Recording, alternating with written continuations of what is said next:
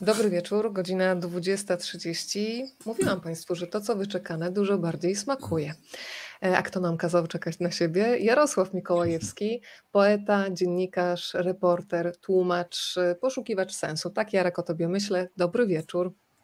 Dobry wieczór, dziękuję Ci bardzo. No i najbardziej e, niesolidny Twój gość, jak się wyraziłaś przed tą audycją, czy najtrudniejszy. Powiedziałam, że niesolidny, ale najtrudniejszy do opanowania. Umówienie się z mhm. Jarkiem na próbę, drodzy Państwo, no ale Jarkowi się wszystko wybacza i on po prostu z tego korzysta. Jarek, bardzo się cieszę, że jesteś. Mm, zgromadziła ja nas dzisiaj tutaj godzina śródziemnomorska i od razu się uśmiecham do wszystkich z Państwa, którzy dzisiaj będą razem z nami żebyście udostępniali to spotkanie na waszej facebookowej osi czasu, a można to zrobić w bardzo prosty sposób pod tymi okienkami, w których jesteśmy widoczni na Facebooku. Jest taki guziczek udostępnij, wystarczy nacisnąć i to spotkanie pojawi się również e, na państwa osi czasu, do czego zachęcam.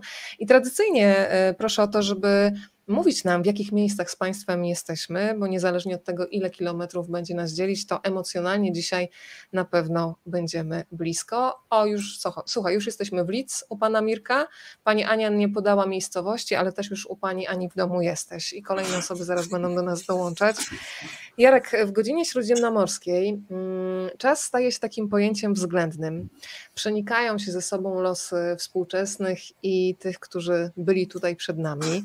E, czytając Twoją poetycką opowieść dla młodych czytelników, y, przede wszystkim stwierdziłam, że to jest taka książka, która każe się też zatrzymać dorosłym, wrócić na przykład do mitologii, bo dzieci będą dopytywać o wiele spraw, więc żeby móc na te pytania odpowiedzieć, to trzeba wrócić i bardzo dobrze. Na kartach Godziny Śródziemnomorskiej spotykamy i pana Homera, pojawia się włoski reżyser, ale też poeta Pier Paolo Pasolini, jest polski poeta Krzysztof Karasek, pojawiają się postaci z mitologii greckiej, na przykład Prometeusz, jest Ariadna, jest y, Dedal i Ikar. No i ja przyznaję, że po lekturze mm, Twojej książki miałam w głowie takie jedno bardzo ważne pytanie, na które ja nie znam odpowiedzi. Jak się dogadać ze światem, w którym mieści się jednocześnie no, takie obezwładniające piękno, ale też bezbrzeżne cierpienie? No to zadam to pytanie, czy Ty wiesz, a, ja, a jeżeli nie wiesz, to jak sobie z tą niewiedzą dajesz radę? Ja będę mówił bardzo poważnie, to znaczy będę mówił tak, żeby nikt nie poczuł się zlekceważony w tej swojej ciekawości. I to jest tak, że sobie czasami rozmawiamy i czasami schodzimy do tak zwanych small talków. Tym razem sobie na to nie pozwolę. Ze względu na taki szacunek, jaki mam do ciebie, naprawdę, i prawdziwą przyjaźń. I, i na jakość rozmów, które już odbyliśmy. Właściwie wspomniałaś o tym, to znaczy rozmawialiśmy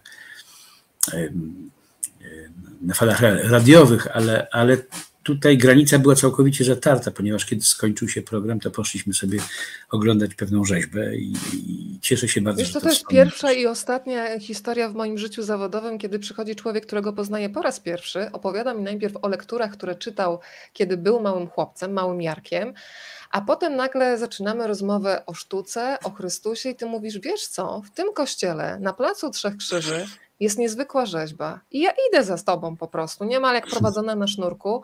I to spotkanie y, będzie ze mną już na zawsze, bo zobaczyłam y, rzeźbę Chrystusa, i wiesz co, w Bogu zobaczyłam człowieka, bo powiedziałam ci wtedy, że ten Chrystus ma stopy jak mój mężczyzna i, i to po prostu zostało we mnie, więc bardzo ci dziękuję. Nie wiedziałem, czy ja mogę to powiedzieć, czy ja mogłem to powiedzieć. Powiedziałam. W każdym razie, to prawda, tak powiedziałaś. Natomiast no nie, no to jest rzeźba niezwykła zupełnie na Placu Trzech Krzyży w kościele świętego Aleksandra, bo on, ona należy do świata śródziemnomorskiego. I e, pójść zobaczyć tę rzeźbę to jest tak jak zobaczyć Michała Anioła czy Berniniego w Warszawie. Naprawdę, to jest tej klasy rzeźba. Ty chyba się o tym przekonałaś i chyba podzielasz to moje zdanie. Ja zaprowadziłem tam przed tę rzeźbę wielką historyczkę sztuki Francesca Capelletti, która jest obecnie prezydentem Galerii Borghese w Rzymie. E, I ona mówi, że to jest niezwykła zupełnie rzeźba i prawdopodobnie, znaczy ona, no na jej gust ta rzeźba na przykład mogłaby wyjść spod dłuta e, Stefana Maderdy, czyli tego, czyli, czyli autora świętej Cecylii na przykład rzymskiej. To jest ta sama stylistyka.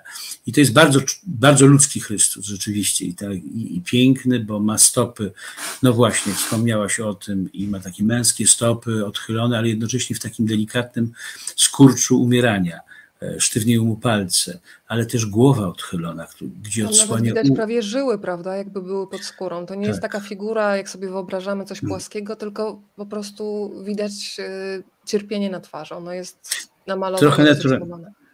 Trochę naturalistyczna, ale też Tak. bardzo delikatna, bardzo subtelna i odsłania ucho, takie piękno tej muszli ucha, piękno włosów, e, piękno szyi.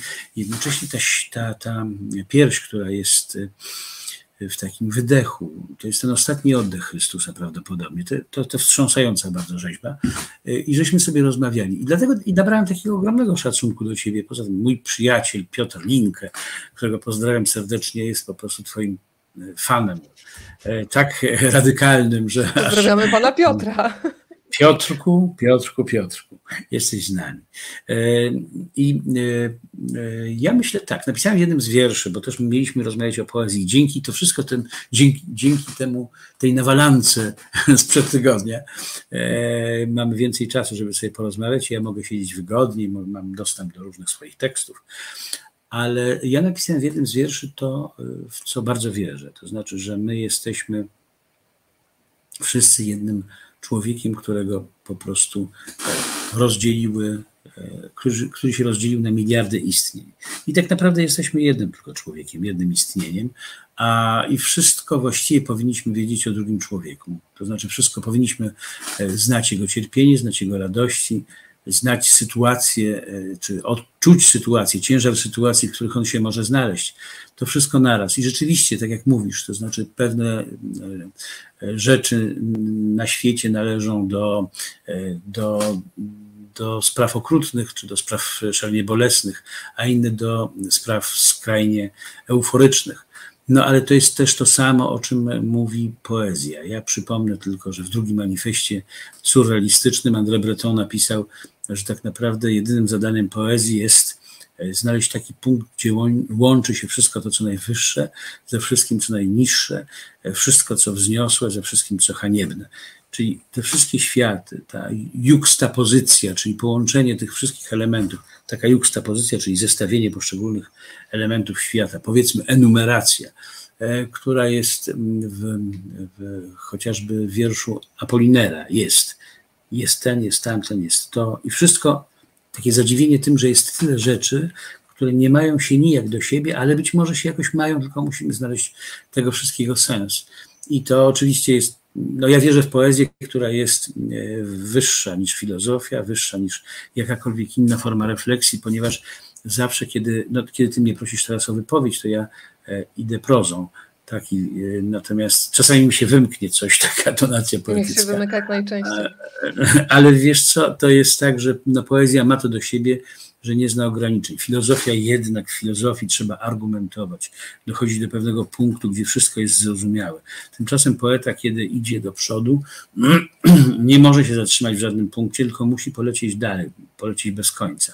E, Jeżeli kończy się możliwość logicznego wynikania, to wtedy może zagrać muzyką, zagrać rysunkiem tego wiersza, zagrać zupełnie innymi środkami, po to, żeby poznać człowieka, żeby go opisać, żeby zbadać jego niezmierzone e, aspiracje. Także ten świat jest ogromnie różnorodny. I, I wiesz, no to w piosenkach na przykład, ja cenię sobie włoskie piosenki. Kochany Lucio Dalla, e, który śpiewa najprostszym językiem. Włosi nie boją się takiej prostoty, której my się boimy, bo strasznie musimy mądrze mówić. I, e, io che mangio il gel- tu, io che sto morendo e tu che mangi il gelato. Ja umieram, a ty sobie jesz loda. No właśnie, to jest coś takiego, co takim jednym słowem oni są w stanie wyrazić całą tę rozpiętość świata. Kiedy w,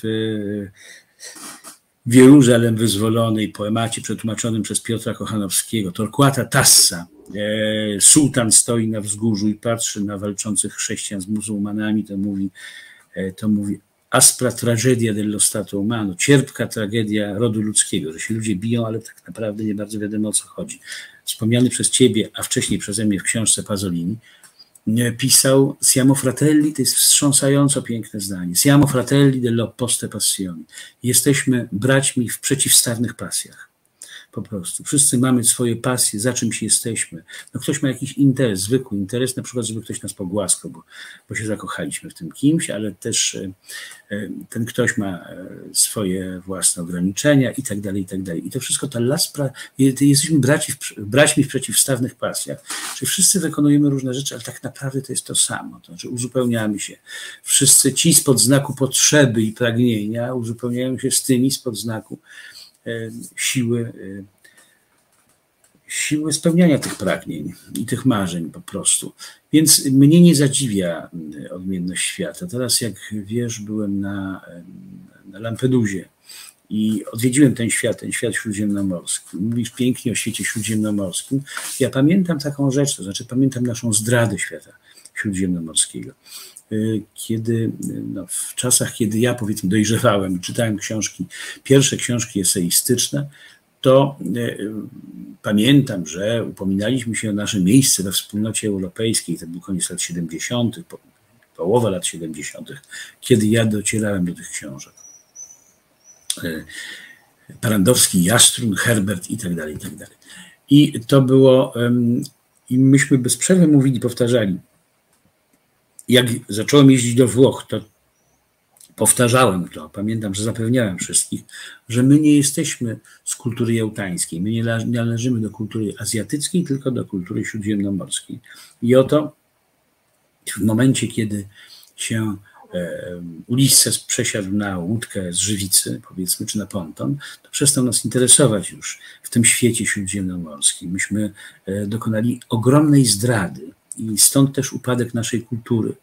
Ogromny upadek. Nie wiem, czy ty się zgodzisz, ale mam wrażenie, że na naszych oczach dokonuje się właściwie największy kryzys kultury, z jakim mieliśmy do czynienia za naszej pamięci. To może być pamięć twoja, moja, moja sięga, powiedzmy, świadome przeżywanie tej kultury, czy tego refleksji, powiedzmy bardziej. No to są jednak, e, ja jestem z roku 60. To są lata 70. I od tamtej pory ja nie pamiętam, żeby było tak źle z punktu widzenia kulturowego żebyśmy e, władzę nad kulturą oddawali e, w ręce ludziom niegodnym. E, żeby, ale nie tylko w to, to znaczy po prostu, że my wybieramy świadomie, mając do wyboru kulturę, model kulturowy zaawansowany i, i mowę urzędniczo-bankierską po prostu, że wybieramy tę drugą. Takich rzeczy nie było, nie było takiego oportunizmu jeszcze nigdy. Ja, o czym pisałem w Gazecie Wyborczej całkiem niedawno, bo chyba tydzień temu, ale jeszcze wcześniej, miesiąc temu bodajże, przygotowywałem dla Muzeum Narodowego razem z Joanną Kilian, współkuratorką, mieliśmy mieć wystawę Dante. I ta wystawa Dante była wystawą na około 150 dzieł, które były wybrane pomiędzy, nie wiem, co Memlingiem, Rodenami różnymi, tak, Odilonem Redonem na przykład też, ale też no, byli wielcy mistrzowie włoscy, Antonello da Messina, Caravaggio i wszystko było już mówione, wszystko było wspaniale powiedziane i dopięte. E, I takim elementem, na który zgodził się od razu dyrektor Muzeum Narodowego była łódź uchodźcza z Lampeduzy. Ta łódź, na której zginęło, nie zginęło, przepraszam, płynęło, na szczęście żyli, dożyli 17 osób, czyli 15, 15 mężczyzn, z regionów subsaharyjskich na łodzi e, libijskiej, e, jedno, jeden noworodek i jedna kobieta. I po prostu nie doszło do tej wystawy. Ja myślę, że dlatego, że trafiło to na czas e, tak zwanego kryzysu na granicy polsko-białoruskiej po prostu. Myśmy się strasznie tych uchodźców bali, postępowaliśmy jako kraj w stosunku do nich bardzo niegodnie. Muzeum podaje inne względy, ale ja mam swoje własne, prywatne e, jednak argumenty, żeby uważać inaczej i żeby, bo widziałem, że po prostu e, władza przestraszyła się łódki. To znaczy zwyczajnie się przestraszono tej łódki, a raczej przestraszono się e, tego kogoś, kto ostatecznie podejmuje decyzję.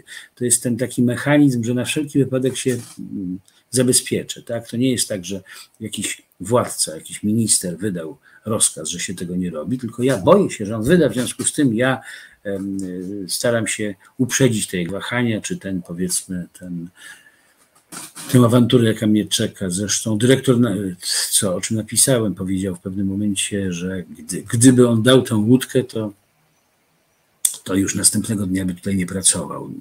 Niczego takiego nie, nie uzyskałem, takiego potwierdzenia, więc myślę, że to był jego bardzo prywatny lęk. Ale to jest właśnie ten fragment tego kryzysu. To znaczy, że my rezygnujemy z, ze znaczeń łódki. No, łódka to jest taki symbol, metafora, alegoria. E, symboli się nie tłumaczy, tak, a, a metafory można tłumaczyć, więc powiedzmy, że jest znakiem e, przymierza z Bogiem na przykład, tak? bo Bóg uratował Noego, Bóg uratował ludzkość i wszystkie stworzenia. A więc my rezygnujemy z tych wszystkich znaczeń rozległych, tylko dlatego, że w pewnym momencie się przestraszyliśmy, że ktoś, jakaś władza uzna to za gest czy za przypomnienie bardzo niewygodnej kwestii uchodźstwa. To straszny, to jest okropny kryzys.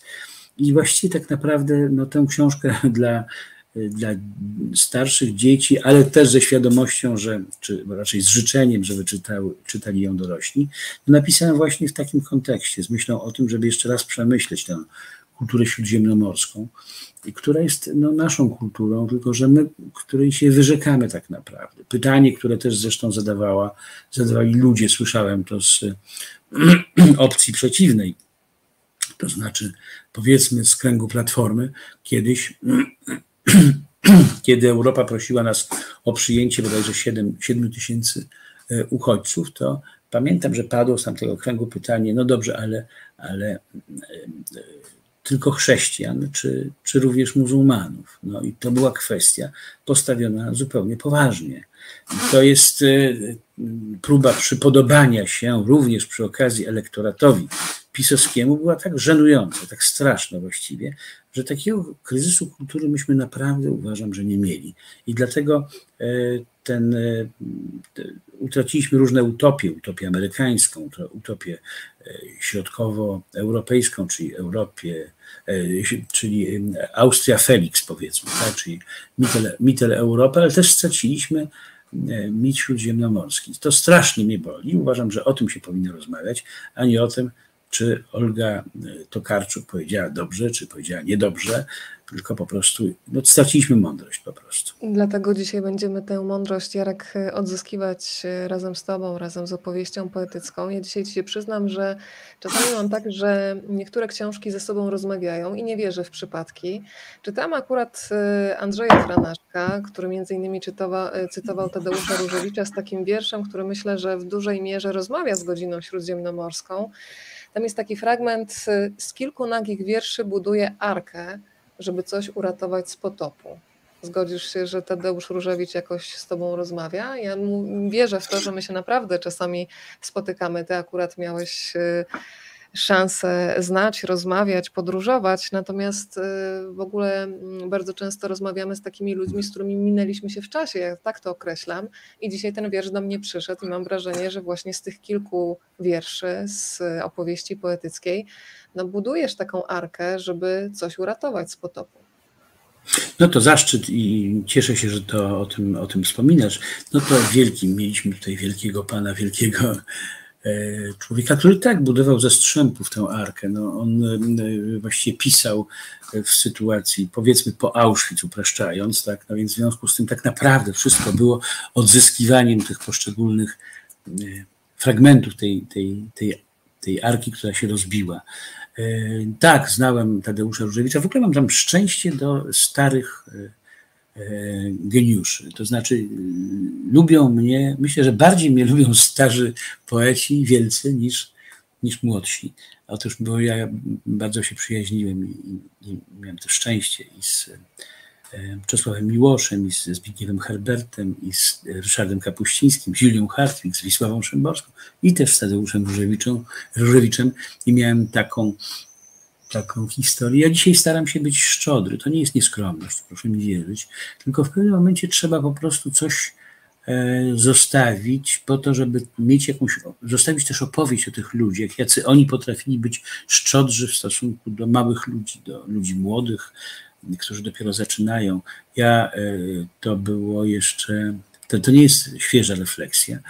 Ja pamiętam, że kiedy miałem 18-19 lat, e, czyli byłem na pierwszym, drugim roku studiów, wtedy chodziłem na wykłady różnych wielkich profesorów. Chciałem poznać wielkich profesorów, wielkości. I między innymi poznałem Jana Białostockiego. I Jan Białostocki powiedział mi e, w pewnym momencie, no Jan Białostocki, taki naj, naj, największa postać, gigant e, polskich nauk humanistycznych w dziedzinie historii sztuki, powiedzmy, wielki. Miałem szczęście słuchać jego też wykładów. Nie wiem, czy wiesz, ale to było tak, że yy, szedłem z kimś i ktoś to opowiadał publicznie potem tę historię, więc może słyszałaś. Szliśmy nowym światem, doszliśmy do Chmielnej. Yy, nie wiem, czy pamiętasz, ale Chmielna kiedyś była przejezdna. Znaczy z Chmielnej można było wjechać na Nowy Świat. I pan profesor Jan Białostocki wziął takiego starego Mercedesa, taką beczkę wielką i rzeczywiście, i pamiętam, i on zatrzymał się, wjechał tak, że zablokował pasy. Jakiś facet mówi, tu wieśniak, badylarz, tu przyjechał, cholera jasna i tak dalej. A ja pamiętam, że szczałem, ale proszę pana, to jest profesor Białostocki, czy pan tego nie rozumie? No w każdym razie im większa, i Białostocki cudowny był też na egzaminach, wspaniale, e, wspaniale wstawiał piątki, tak sobie wtedy pomyślałem, ale on mi to potwierdził, sam to powiedział, że tak naprawdę, że, że im, e, im większa wielkość, tym bardziej jest łagodna w stosunku do świata, tym bardziej się cieszy z jakiejkolwiek wiedzy, jaką przedstawia ten student, który jeszcze naprawdę niewiele, e, niewiele wie. A dlaczego ja doszedłem do profesora Białostockiego? Nie pamiętam. Zaczynałeś od Tadeusza hmm. Różewicza. A, mój Boże. No więc właśnie, Tadeusz Różewicz, no właśnie, urwałem historię w najważniejszym Jestem momencie. tu po to, żeby cię pilnować, także spokojnie. Otóż kiedyś Tadeusz, kiedyś dostałem informację z Instytutu Polskiego, jeszcze tam e, nikogo nie znałem, że zaproszony jest, został przez e, miasto Rzym, a dokładnie przez Kapitol, na Kapitol, do sali głównej Kapitolu, e, Tadeusz Różewicz, żeby czytać swoje wiersze, do lektury wierszy, dopiero co przetłumaczonych. I e, pan Tadeusz Różewicz pytał, czy on może wystąpić, czy może zaprosić młodszego poetę. I on mnie zapraszał, i w związku z tym Instytut się odezwał w imieniu pana Tadeusza Różewicza, czy przypadkiem ja bym z nim nie poczytał wierszy na Kapitolu. Na mój Boże. I więc, więc zostałem zaproszony. Siedziałem obok niego, e, obok Tadeusza Różewicza i on przy, siedząc przy mnie czytał Warkoczyk i tak dalej, i tak dalej. No to było, to był dość, a ja czytałem przy nim, czyli przy tym, który napisał Warkoczyk między innymi. Tak, i potem napisał mi list, taki cudowny list, który chciałbym kiedyś opublikować i mówi, panie Jarosławie, tam e, myślę o panu z przyjaźnią. E, I, mówię, I nie zapomnę nigdy tego momentu, kiedy wychodziliśmy, był zmierzch, było zachodzące słońce i, e, i, i, i on, Marek, na tym swoim koniu, taki sprawiedliwy, mądry, wielki, cudowny i bardzo się rozmarzyliśmy. A potem poszliśmy na wino, pamiętam. No i też było dobrze, cudownie.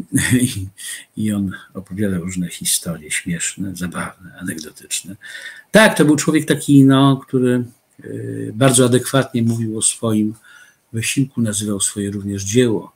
Y, nie tylko on, ale miał też cudownych komentatorów, to znaczy miał taki swój etos wiersza. Te wiersze jego są Mówi się o ascezie poetyckiej w przypadku Tadeusza Różewicza, aczkolwiek jak to się mówi w szkole, tak, był ascetą słowa, właściwie nie bardzo wiadomo, czy to coś znaczy. Tak? Ale jak się wejdzie w język, w opis profesora Ryszarda Przybylskiego, niestety też już nieżyjącego, i czyta się analizę poprzez pewną rzecz, poprzez pewne spostrzeżenie. Otóż Różewicz w kolejnych edycjach swoich wierszy obcinał czy wycinał przymiotniki prostu. Wycinał przymiotniki, zostawiał, zostawiał ten element. To bardzo, bardzo ważne i bardzo, bardzo słusznie zauważone. Takie element. reporterskie w sumie, prawda? Tak, tak, Jeżeli tak. chodzi tak. o. Niedawno rozmawialiśmy z Mariuszem Szczegółem, jego książce Fakty muszą zatańczyć, w której ty się zresztą też pojawiasz. E, z, na przykład opowiadając o naturalnym porodzie słowa, o tym, że nie należy przyspieszać. Też to zostało w mojej głowie po rozmowie z Tobą. E, więc dzisiaj te ścieżki myślowe będą nam tutaj się przenikać, więc wrócę do tej arki budowanej poprzez opowieść poetycką, żeby coś uratować z potopu. Tutaj przedstawmy dziennikarkę, dziennikarza, przepraszam, i poetkę. Dziennikarza, który kręci się w tej książce Godzina Śródziemnomorska cały czas y, z notesem. Jest ona. Ja bardzo lubię ten moment, kiedy sadzasz oboje na ławeczce i oni wystawiają głowę jak słoneczniki do słońca. To jest taki chwilowy, taka chwila, moment zanurzenia się w tym pięknie tego świata, no ale też toczą się bardzo poważne rozmowy. Ja przy okazji Państwu pozwolę zajrzeć do środka dzięki ilustracjom, które stworzyła Joanna Gęba, ale też bardzo symbolicznym. E, to przedstawmy tę panią w żółtym płaszczyku i pana w fantastycznie skrojonym garniturze. No to jest tak jak ludzie, bo to jest trochę moralitet ta książka również taki, prawda? To nie jest, to nie jest książka pisana jednym językiem, to jest pisane wieloma językami. Wtedy jest, jest, jest poetka, która nagle zaczyna coś mówić, ale nie językiem poezji na ogół tylko językiem zupełnie innym, językiem analizy. Tam jest dziennikarz, który zaczyna mówić językiem naiwności troszkę, to znaczy takim językiem, jak gdyby nie był E, człowiekiem mądrym, tylko dowiadywał się tego świata, ale zawsze się można tego o tym świecie czegoś dowiedzieć. I razem poeta i poetka i, i, i, dziennikarz uczestniczą w tym świecie, wchodzą do tego świata mitologii i nagle uczą się, że ten, ten język jest do, do zakwestionowania. Razem się, tak jak słusznie, pięknie powiedziałaś o tym, jak się dają na waweczce i wystawiają swoje twarze, to jest troszkę też pazoliniańskie. To znaczy, tak naprawdę Pasolini powiedział taką rzecz, no tego Pasoliniego nigdy dość, bo to jest taki mędrzec. W ogóle, uwaga, robię nawias, e, kultura e, ta śródziemnomorska, kultura włoska bardzo korzysta z takiej mm, apodyktyczności, mądrej apodyktyczności. Znaczy, to nie jest tak, że nagle można powiedzieć, moim zdaniem, właśnie wynikowo dochodzimy do takiego wniosku, że, że świat jest taki albo jest inny. Tylko istnieje takie bardziej znaczące zmysłowe postrzeganie świata, z którego my bardzo często rezygnujemy. Nie wiem, czy pamiętasz książkę Giuseppe Tomasi di Lampedusa, Lampart, która jest uważana za największą powieść w ogóle w historii literatury włoskiej. Przyznaję się, że tej powieści nie znam. Jestem w kategorii osób niedoczytanych. Taki podział Mariusz ostatnio stworzył też Szczegieł wspomniany, czyli oczytani, niedoczytani i oczytani. Więc ja cały czas z tym głodem na więcej, więc zapisuję. A jeśli jesteśmy książkami, to jesteśmy przeczytani albo nie przeczytani. Tak, tak jest. Także wiesz, i, y, i, i tam pada taki, tam jest taki książek, który jest bardzo mądry. No, w tej swojej mądrości nas słuchają nie tylko dzieci, prawda? Nie. Dorośli przede wszystkim, myślę. No to Zresztą od razu ci powiem, że jesteśmy już za oceanem, jesteśmy na Kaszubach, jesteśmy w Portugalii, jesteśmy w Rawiczu. Państwo hmm. pozdrawiają też y, z Puszczy y, Knyszyńskiej i łąk nad no, Supraślą, sąsiedzi z Kabat i Ława na pokładzie, Berlin, Gdańsk, i kolejne osoby dołączają. Bardzo się cieszę, że Państwo są, ale wracamy do Twojej opowieści. Znaczy, Lampart, tak? Dobrze, nie, tak. I e, rezygnujemy z tego bardzo często, to znaczy z tego, że jesteśmy ludźmi mądrymi po prostu, że mamy prawo do mądrości, a nie tylko do mędrkowania, czyli do udowadniania.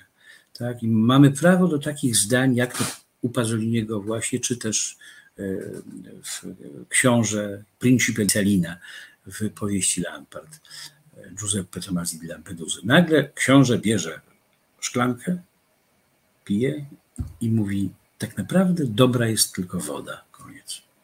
I to jest to zdanie takie, które jest zdaniem skończonym, ostatecznym. Jest w tym zdaniu cała mądrość świata. A należy wierzyć temu księciu, ponieważ pomimo, że ma żonę, chodzi na prostytutki co bardzo uwiarygadnia jego w moich oczach, ponieważ nie znosi zupełnie, strasznie e, kochać się ze swoją żoną, ze swoją żoną, ponieważ ona na zakończenie każdego aktu miłosnego żegna się i mówi Jezus Maria. I po prostu on się musi, on musi się po prostu absolutnie odwrócić od tego Bożego wymiaru miłości cielesnej. No, prosiłeś, żeby było poetycko, no więc czasami będzie. Nie wiem, czy o to prosiłam, ale okej, okay, przyjmuję i ten wątek opowieści. I Pazolini powiedział taką cudowną rzecz na przykład, że w ogóle rozmowa, przerwał jakąś rozmowę, którą prowadzili pisarze, między innymi Alberto Moravia i powiedział, że nie ma sensu mówić o, miejscu, o miejscach, o miejscowościach, nie mam co mówić poprzez analizę, czy tam jest są ludzie głodni, ludzi głodnych, jaki jest stan zatrudnienia, tylko po prostu miasta się wącha. Krótko mówiąc, można wywąchać znaczenie miast. I słuchaj, jak się zastanowić dobrze, to rzeczywiście tak jest dokładnie. Ja, jak ja byłem na, na Lampedusie, kiedy sobie przypomniałem to zdanie Pasoliniego, to zapach Lampeduzy mówi wszystko, wszystko, wszystko absolutnie o tej Lampedusie po prostu. To, jest, to jak pachnie to jest, Lampedusa? kurzem przede wszystkim. Lampedusa, czyli e, najbardziej wysunięty fragment Europy na południe, pachnie e, piaskiem Sahary tak naprawdę, czyli pachnie Afryką. Pachnie kwaśnym potem.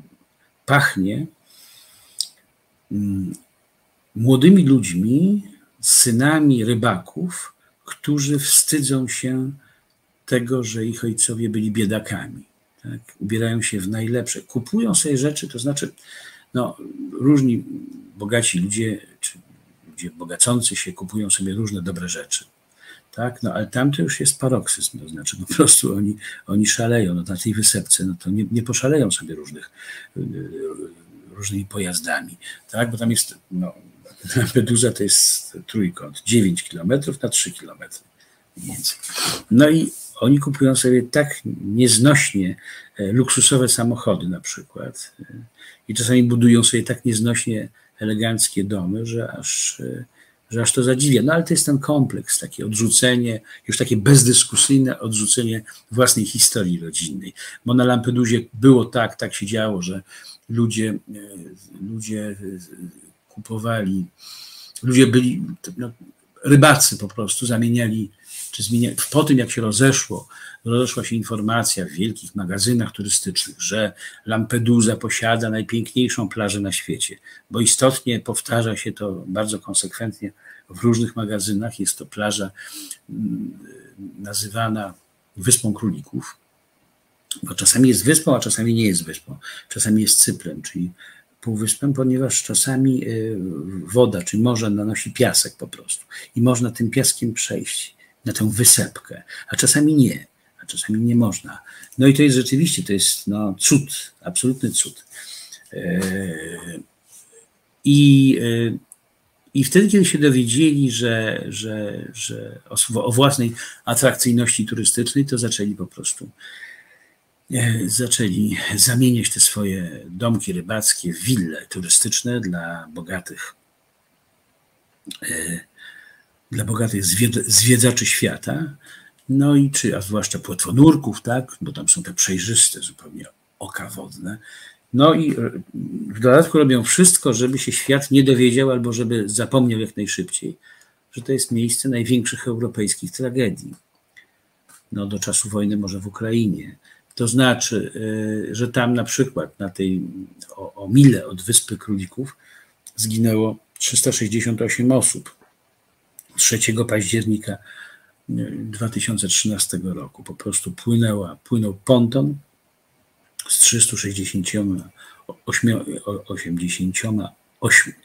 368 osobami i nagle upadła pochodnia e, na dno, na której była nafta. Po prostu ponton się zapalił, wszyscy zginęli. Tak w 13 roku, no, jest 9 lat temu. To jest ta największa katastrofa e, Morza Śródziemnego, aczkolwiek nie wiemy, jakie są największe katastrofy, ponieważ jeżeli łódź, e, łódź się spaliła, czy poszła na dno niezauważona, to, no to, no to, no to my się nigdy o tej największej katastrofie, prawdziwie największej, nigdy nie dowiemy.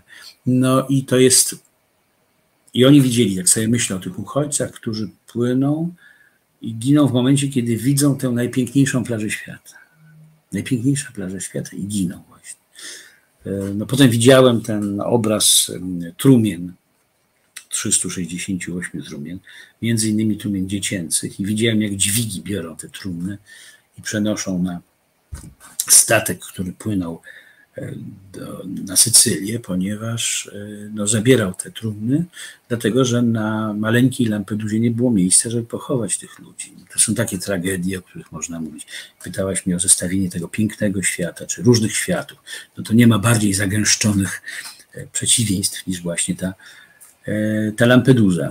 No i tak sobie, no warto o tym wiedzieć, warto o tym pamiętać po prostu, o tej Lampedusie. I ta, ta książka zrodziła się z tej z, tej, mm, z tego doświadczenia lampeduzańskiego mojego. Przepraszam. Ja, ja, sobie też przypomniałam, Jarek, że przecież w Wielkim Przepływie w swoim reportażu z 2015 roku pisałeś o Jazonach i Odyseuszach, którzy przesiedli się z łodzi na pontony. E, tutaj zresztą Państwo mogą ponownie zajrzeć do godziny śródziemnomorskiej mm, i zobaczyć jedną z ilustracji Joanny Gembal. E, piszesz o tym Morzu Śródziemnym, tym samym, które znają Grecy, Marokańczycy, Hiszpanie, Syryjczycy, Izraelczycy i Tunezyjczycy. Tyle tylko, że jednym, tak jak wspomniałeś, e, to morze kojarzy się z plażą, słońcem i odpoczynkiem, a dla innych oznacza tragedię. Jest takie zdanie w godzinie śródziemnomorskiej, która bardzo mocno we mnie rezonuje, jest tym, co najbardziej jest w chwili, gdy znika. I to jest ten paradoks, kiedy świat nagle cię zauważa, kiedy mówi o twojej śmierci, ale przed i chwilę po znowu znikasz. I to jest y, y, to, na co skazujemy ludzi. Po pierwsze, nie pomagając, a dwa, zapominając. I mam wrażenie, że ta rozmowa pomiędzy poetką a dziennikarzem w dużej mierze też y, no, każe sobie zadać pytania, raz o bezradność słów. Ja się zastanawiam, e, no bo ty w zasadzie mieścisz w sobie i poetę, i dziennikarza, więc jak ty sobie radzisz z bezradnością słów, e, bo chcemy coś zrobić, ale zaczynamy się zastanawiać, czy te słowa mają jakąkolwiek moc, bo przecież już tyle powiedziano, tyle napisano. Jak sobie z tą bezradnością radzisz? No, poetka tam trochę mędrukuje w, tym, w tej mojej książce, natomiast dziennikarz bierze notes, coś tam zapisuje i uważa, że to jest dość wystarczające, ale to chodzi o tych dwoje ludzi, które się spotykają, są, którzy się spotykają i to są kompletnie bezradni w stosunku do tej rzeczywistości. Aż nagle stają się świadkami tego korowodu. To nie jest tak, że ja te postaci e, mityczne, które tam się pojawiają, stają się takimi postaciami, które pouczają, tak? które tylko nagle jest ten e, Ulisses i nagle jest ten rozbitek, który nam się nagle pojawia. I to jest takie życie w tych światach. Y, wiesz co, ja myślę, że trzeba mówić, to znaczy, że to jest taki teraz czas, żeby nie iść na kompromisy z głupotą. I po prostu mm, trzeba uruchomić całą swoją wiedzę. No przecież my mamy, na przykład zgodzisz się, mam nadzieję, a nawet wiem, że,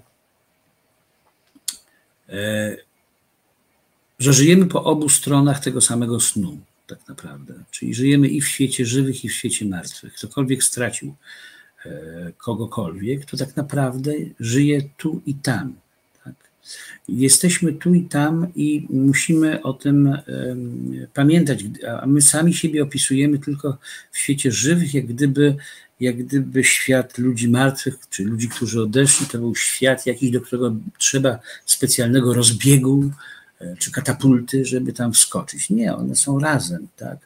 E, mój tata zmarły przychodzi do mnie i mnie głaszcze po głowie, a, a co więcej, muszę ci powiedzieć, przychodzi do mnie jako wyrzut sumienia w momencie, kiedy jest Wigilia Bożego Narodzenia, ponieważ to on, Wigilia Bożego Narodzenia to był mój ojciec, tak, i zawsze pamiętam, że miał taką koper, kopertę futrzaną, taką furażerkę, którą nakładam na duże ucho, i pamiętam, że kiedy wnosił choinkę czterometrową, bo nasze mieszkanie miało prawie 5 metrów, to ta, ta choinka e, zdejmowała mu tę forażerkę, forażerka upadała i to ucho, brum, jak sprężynka takiego misia chińskiego strzelała. Ja myślę sobie, i on przychodzi do mnie jako wyrzut sumienia, że ja w dalszym ciągu uczestniczę w Wigiliach do Diabła Ciężkiego. Co to znaczy? Umarł główny bohater mojej Wigilii, ja cały czas tu jestem. Ja nie mówię, że tego nie należy robić, bo no, są własne dzieci, własna rodzina tak, ale z drugiej strony y, no, to jest wyrzut sumienia, po prostu z tym się trzeba pogodzić. Y, z tym się trzeba pogodzić, naprawdę. Niektórzy doprowadzili swój protest, swój bunt, swoje niepogodzenie do skrajnej postaci. Na przykład no, mamy taką świętą, nie wiem, czy by się zgodziła na tę formułę, była Żydówką, ale, ale bardzo, bardzo przeżywającą treści chrześcijańskiej, Simon Weil, która właściwie ograniczała bardzo. Dzisiaj też o niej czytałam, to jest niezwykłe, że to no, wszystko się jakoś splata. Mhm. A też u Andrzeja Franaszka? Nie. Tak, tak, tak. tak? Gwiazda no Pią, tak, wspominał ją wielokrotnie. Mhm. No, no proszę. Także Simon Weil, która właściwie nie godziła się, tak? Ona nie godziła się na to, co się dzieje w faszystowskiej Hiszpanii, tylko nawet e, chciała tam walczyć, nie mogła walczyć ze względu na swój stan zdrowia, tak? No to są takie e, radykalne postawy, e, radykalną postawą wą wykazał się, wykazywał się i wykazuje w dalszym ciągu dr Pietro Bartolo, bohater właściwie główny bohater Wielkiego Przypływu, z którym się widziałem no, tydzień temu, wtedy, kiedy odbierałem tę łódkę z Lampeduzy, żeby ją przywieźć do Polski, razem z Jarosławem Przyborowskim, czyli człowiekiem, który przedsiębiorcą i, i, i e, kolekcjonerem sztuki, właścicielem galerii, fundacji e, Signum, który mm, zaraz jak napisałem, zaraz po tym jak napisałem o tej łódce, natychmiast powiedział, proszę pana, ja biorę tę łódkę, ja się nią zaopiekuję, ją przywiozę do Polski. I ta łódka jest teraz już w Polsce. I ta łódka będzie mm, czymś ważnym, będzie taką podstawą, platformą bardzo ważnego, y, bardzo ważnego przesłania. Także i doktor Bartolo, który mm, no, teraz mi uzmysłowił 35 lat, dzień w dzień, dzień i noc, z narażeniem swojej rodziny, która wcale tego dobrze nie znosiła i która, którą zaraził, przychodząc z pomostu z różnymi chorobami. Bo to nie jest tak, że chorób nie ma, to nie jest tak, że Kaczyński nie ma racji e, w, mówiąc o chorobach, które przywożą czasami ci uchodźcy. No tylko, że dlaczego to oni mają chorować w samotności, skoro nie są sami na tym świecie? To inne jest pytanie. Tak, oczywiście jego mówienie jest haniebne, to mówienie o uchodźcach poprzez pierwotniaki. E, natomiast trzeba wiedzieć, że jesteśmy ponadnarodowi tak naprawdę. Jesteśmy przede wszystkim obywatelami świata, ludźmi, braćmi, siostrami i tak. Wiesz, Więc i doktor, mhm. i tylko powiem tylko, że doktor Bartolo e, po prostu on e, siedział na tym pomoście przez te 35 lat i to było kompletnie, ja, ja pamiętam, widziałem go, wtedy kiedy go widziałem, to go widziałem bez przerwy. On po prostu padał z nóg ze zmęczenia, ale nigdy nikogo nie zostawił samego. I miał takie dokonania, które można powiedzieć, że są taką nauką e, humanizmu i humanitaryzmu. To znaczy, ja widzę, że kiedy przyjeżdżają młodzi lekarze i chcą być nowym Pietro Bartolo i pytają, jak to się robi, co trzeba najpierw leczyć, to on mówi, nie, nie, nie, nie, nie, nie badajcie najpierw, tylko pierwsza rzecz, jaką macie zrobić, to jest położyć rękę na policzku.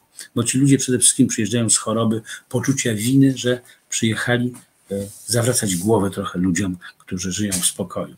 I to jest właśnie to. I to jest odpowiedź na pytanie ludziom, czy to jest wiedza. Tak, to jest wiedza. To jest ogromna wiedza i my, my tej wiedzy nie mamy po prostu, bo nam się nie daje. To znaczy, jeżeli się słyszy, jak pewne radio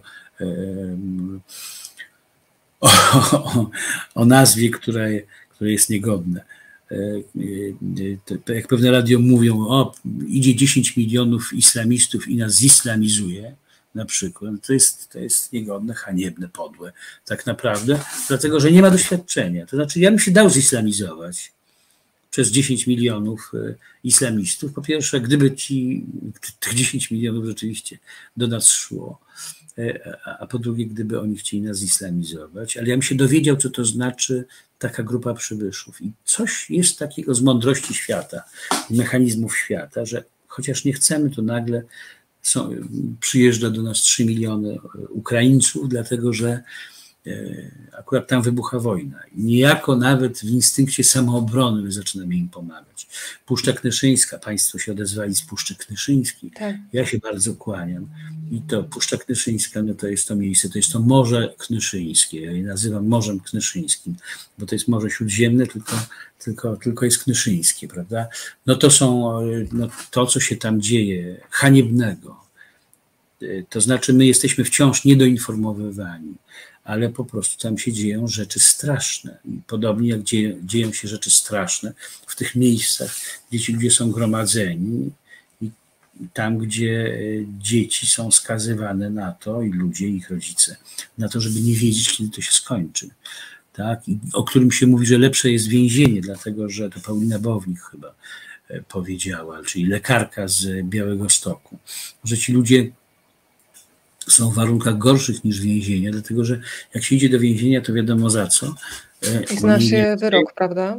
Tak, i wiadomo za ile lat się wyjdzie, a tu nic nie wiadomo. To nie wiadomo za co, nie wiadomo dlaczego życie jest e, karotwórcze, dlaczego, dlaczego życie ma być winą, e, która która zostaje ukarana i dlaczego ci ludzie nie wiedzą, kiedy stamtąd wyjdą. To jest takie skazanie na wieczność. To jest oczywiście domena piekła, dlatego że piekle się cierpi na zawsze, na wieki, tak naprawdę. Z piekła nikt nigdy nie wyjdzie. I y, jak Dante to opisuje, opisuje znakomicie, ze znawstwem, jak gdyby znał tę całą historię, to mówi o ludziach, którzy domagają się wtórej śmierci, drugiej śmierci po prostu. Dlatego chcieliby umrzeć tak naprawdę. Skoro wspomniałeś, tutaj padło nazwisko Dante, to nie wiem, czy wszyscy z Państwa mają świadomość, że jest dzisiaj razem z nami tłumacz. Mm, więc powiedzmy, ile Ci ostatnie tłumaczenie zajęło czasu, bo chciałabym Cię też pokazać jako człowieka, który się potrafi poświęcić sprawie i trochę też potrafi przesuwać deadline tak zwane wydawnicze. No, sama uważasz mnie za nieznośnego gościa, w związku z tym i wydawnictwo. Wiesz co, to jest tak, że no rzeczywiście 31 lat tłumaczyłem, to już sam od, od, od postawienia tego pierwszego zdania, właściwie od publikacji pierwszej pieśni boskiej komedii w tygodniku literackim, który mm, prowadził wtedy, wtedy Artur był... Międzyrzecki, prawda? Tak, tak Międzyrzecki mąż, Julii Hartwig, i ona też zresztą czytała. No potem y, tak, i to, to było, i tak, deadlines rzeczywiście pękały raz za razem, ale, ale, ale, kiedy Olga Tokarczuk napisała, Olga Tokarczuk, będę teraz dodawał, kochana, mądra Olga Tokarczuk, wspaniała. Kiedy Olga, wspaniała, mądra, kochana i tak dalej, Tokarczuk, e, e, której się ludzie teraz czepiają, a właściwie my wszyscy się troszkę czepiamy, czy na to czepianie się zgadzamy, e, to kiedy ona, pamiętam prezentację, prezentowała księgi Jakubowe, to podziękowała wydawnictwu literackiemu i powiedziała, no, że dziękuję, bo ona przesuwała wielokrotnie ten termin. I wtedy redaktor naczelna, ówczesna Małgorzata Nycz powiedział, ależ Olga, przecież my wiemy, że przy pewnych książkach e, trzeba będzie czekać wiele lat dłużej niż termin umowny. No i jak sobie pomyślałem, uff, Jezus Maria, dobrze, to może to też nie Nie jestem sam. tak, tak, tak, tak. Jarek, ale wspomniałeś, żeby mi to nie uciekło, mm, doktora Bartolo. Ja sobie przed naszym dzisiejszym spotkaniem przypomniałam rozmowę, którą przeprowadził z nim Michał Nogaś. E, to był moment, kiedy doktor Bartolo przyjechał do Polski, mm, już jako europoseł też.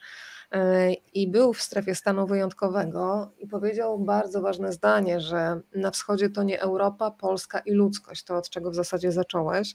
E, łamane są prawa, konwencja genewska, nazwał rzeczy wprost, że to jest zbrodnia przeciwko ludzkości, powiedział nawet, że będziemy mieć nową Norymbergę, kiedy to wszystko się skończy.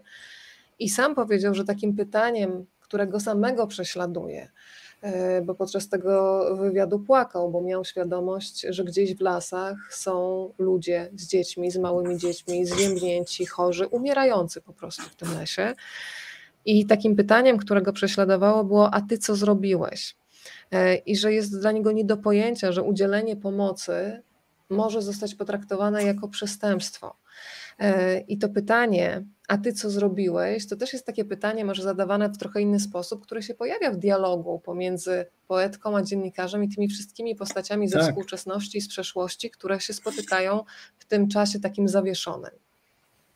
Bo tam jest świadectwo ważne w tej książce, ale też taka no, postawienie sobie pytania, po prostu odpowiedzialność, o, e, taka, taka refleksja e, na poziomie, myślę, współczesnej właśnie inteligencji, czy współcześnie e, myślących ludzi naszego dnia, naszego otoczenia i oni pełną, pełnią taką rolę i w pewnym momencie widzą tych ludzi z tej mitologii, którzy tych ludzi, którzy noszą nasze pytania, no między innymi tam jest ta postać moja ukochana, czyli Polifem, tak?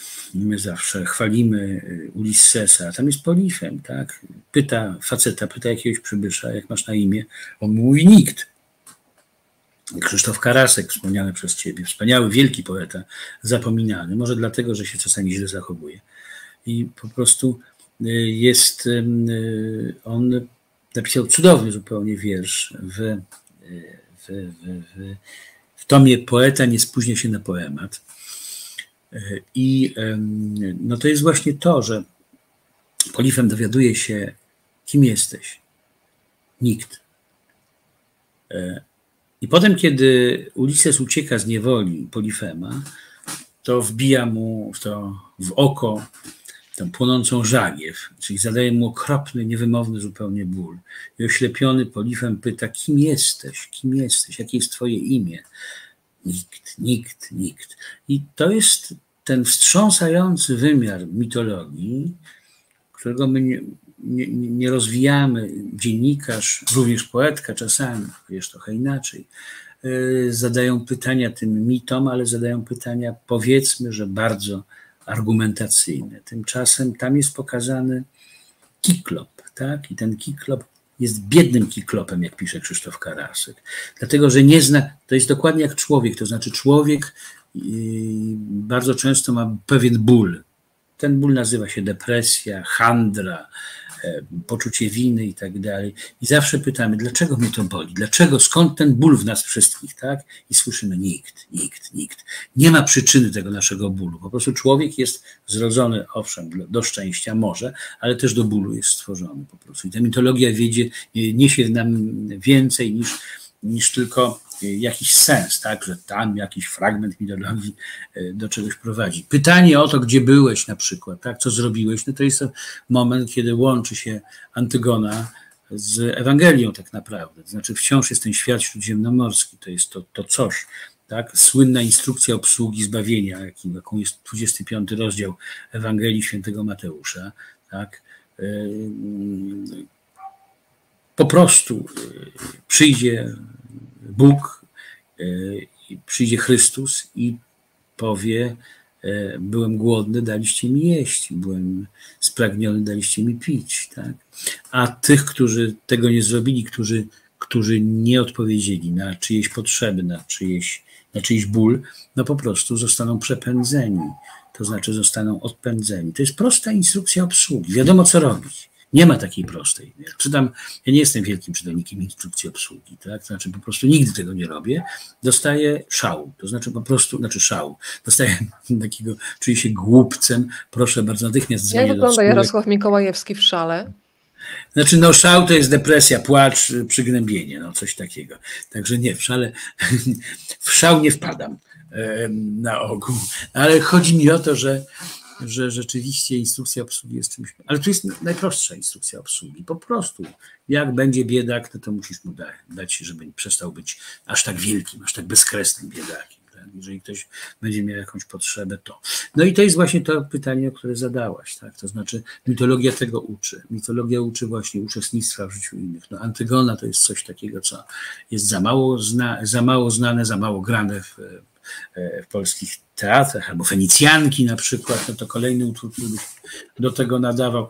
Naprawdę mm, e, to jest to pytanie, a co ty zrobiłeś, no to, to my z tym pytaniem prawdopodobnie umieramy.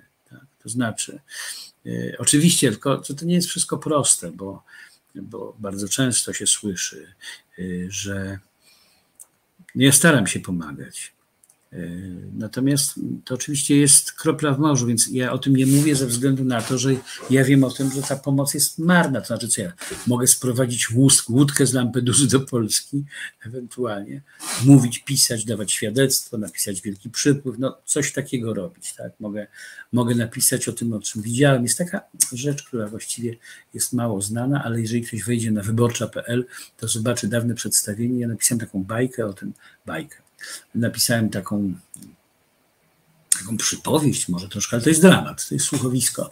O, e, wymyśliłem sobie, napiszę o, o dziwnej rodzinie.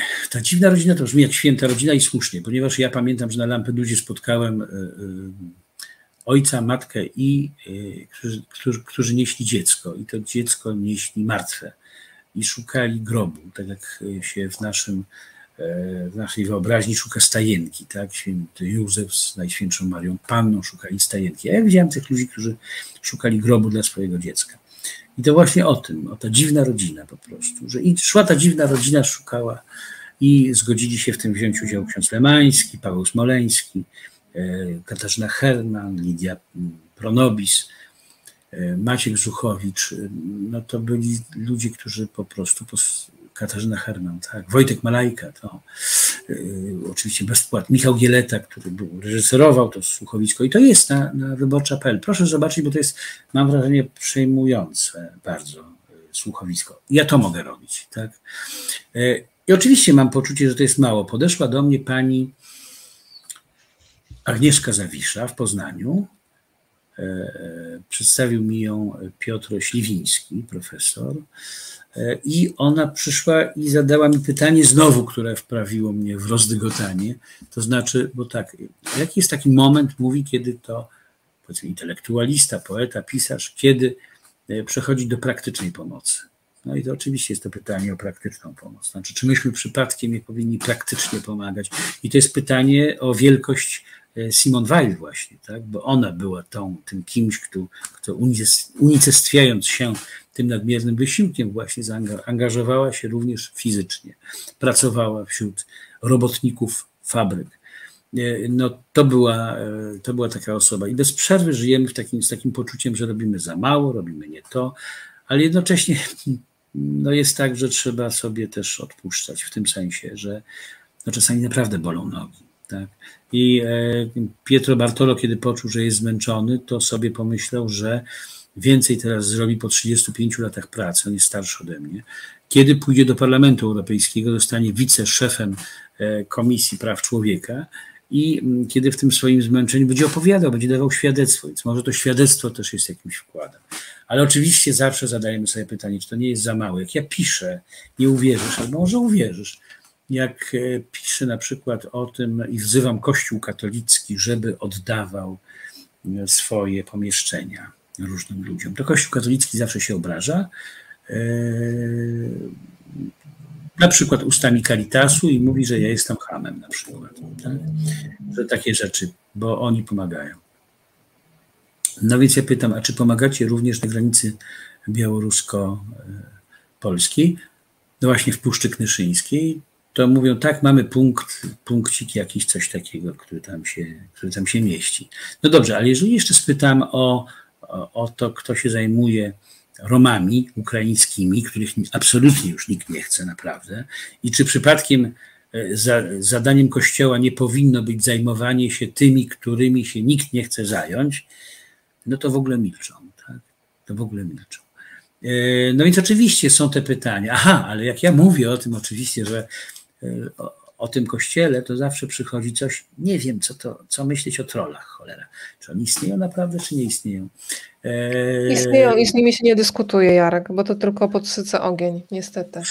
Ale wiesz co, no piszą, dobrze, ciekaw jestem, ilu pan Ukraińców przyjął do siebie, ponieważ ja właśnie w domu mam 25 na przykład, coś takiego. To bez przerwy jest ten argument. Dobrze, a ilu pan przyjął i tak dalej. To jest zawsze to takie sprymityzowanie. Ale wiesz co, ten wątek takiego bardzo mi się podoba w, w godzinie śródziemnomorskiej, kiedy pojawia się nimfa Echo i Narcyz. Mm. I ja to odnosząc do tej sytuacji, z którą codziennie się wszyscy mierzymy, na przykład y, oglądając to, co się pojawia na naszych facebookowych osiach czasu, ja to nazywam taką licytacją czasami na cierpienie. Kto nie może bardziej spać przez to, co się dzieje.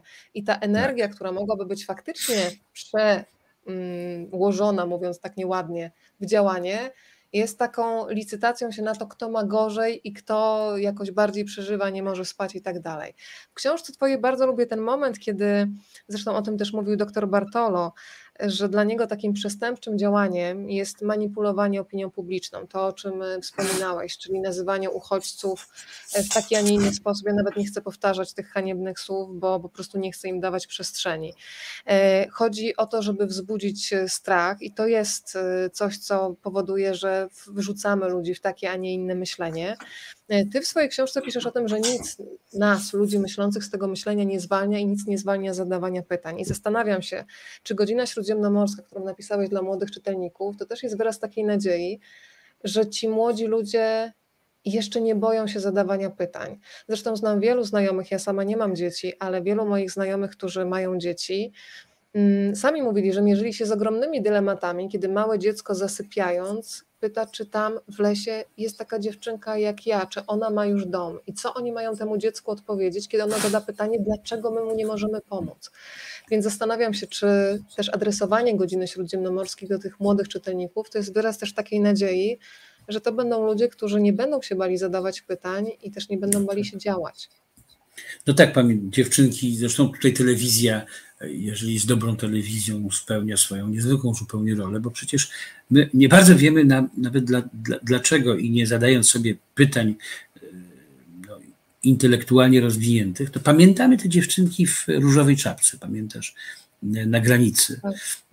Te dziewczynki, potem poszukiwanie tych dziewczynek, bo ta dziewczynka została czy, czy, czy wypchnięta, czy to, to trudno znaleźć odpowiednie słowo, e, żeby to nazwać. Więc my zapamiętujemy, zapamiętujemy te obrazy. Istnieje coś takiego jak takie współczucie i humanitaryzm, który jest naskórkowe, ale nie jest dobre. To znaczy widzimy oczy tego dziecka zagłodzonego. I to zostaje w nas. Ja pamiętam, to się czasami mówi o płytkim tak zwanym Y, humanizmie, ale ten płytki humanizm prowadzi bardzo daleko.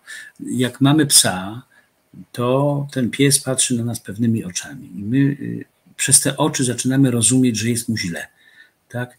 Y, a wtedy, kiedy Krzysztof Bednarski, wielki artysta, narysuje dramat Żydów podczas II wojny światowej poprzez psa z żółtą gwiazdą Dawida, no to zaczynamy rozumieć, co to znaczy zawstydzenie, co to znaczy wykluczenie i tak dalej, i tak dalej.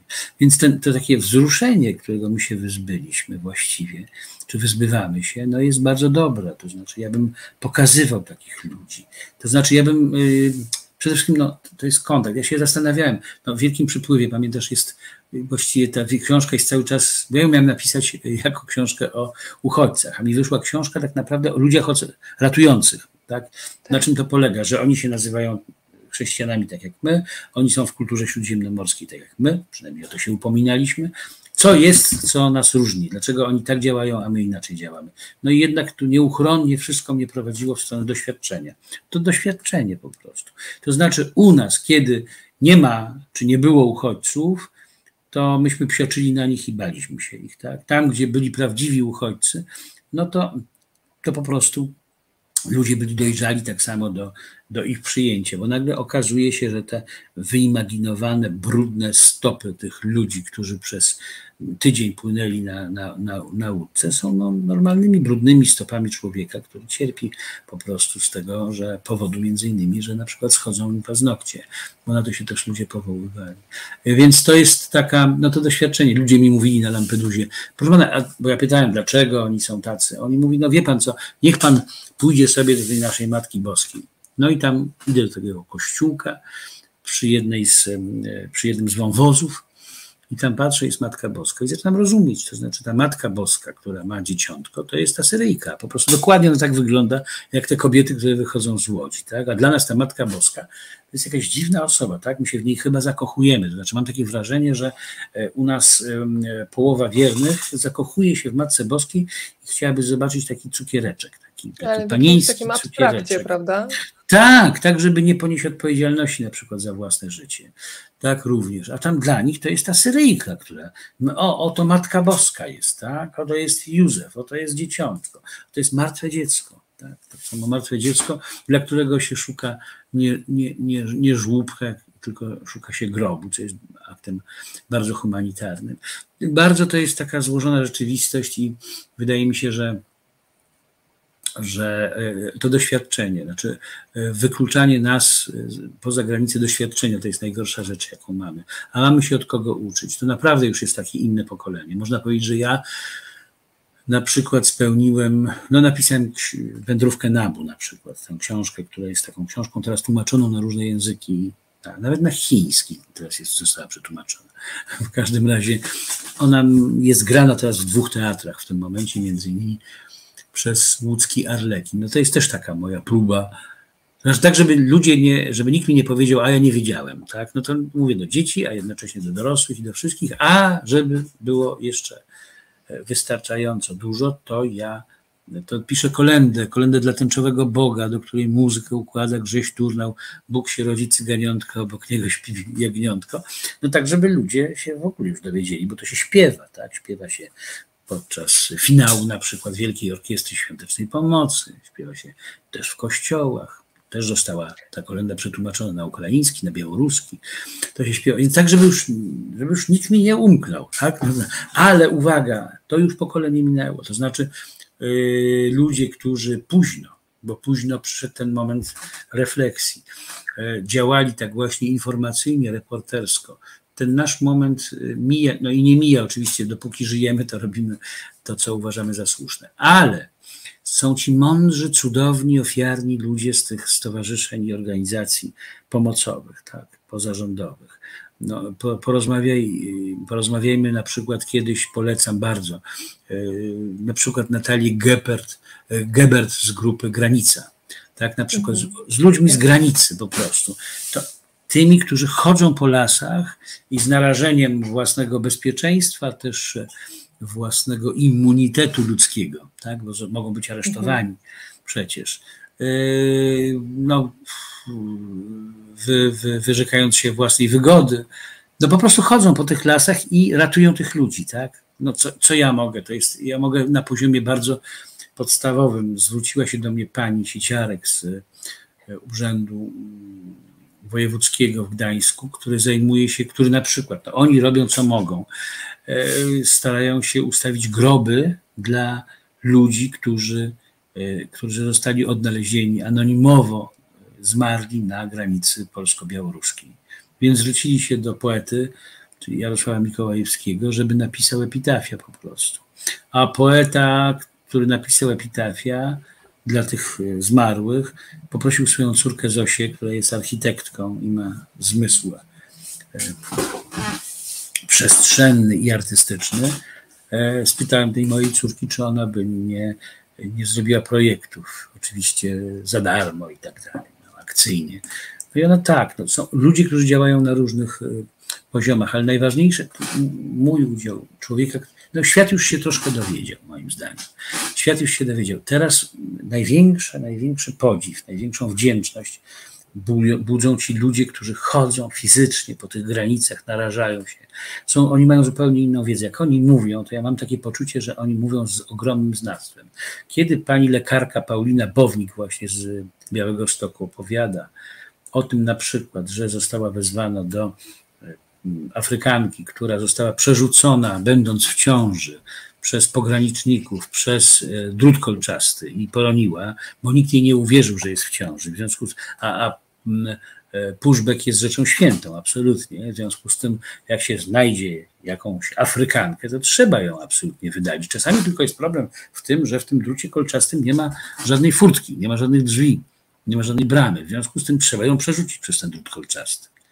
No ale jakże, po co wierzyć takiej osobie, że ona akurat jest w ciąży i, i może poronić? No i ta osoba poroniła i pani Paulina Pownik, e, lekarka z Białego Stoku, która jest naprawdę niezwykle dzielną osobą, po prostu nią się zajęła.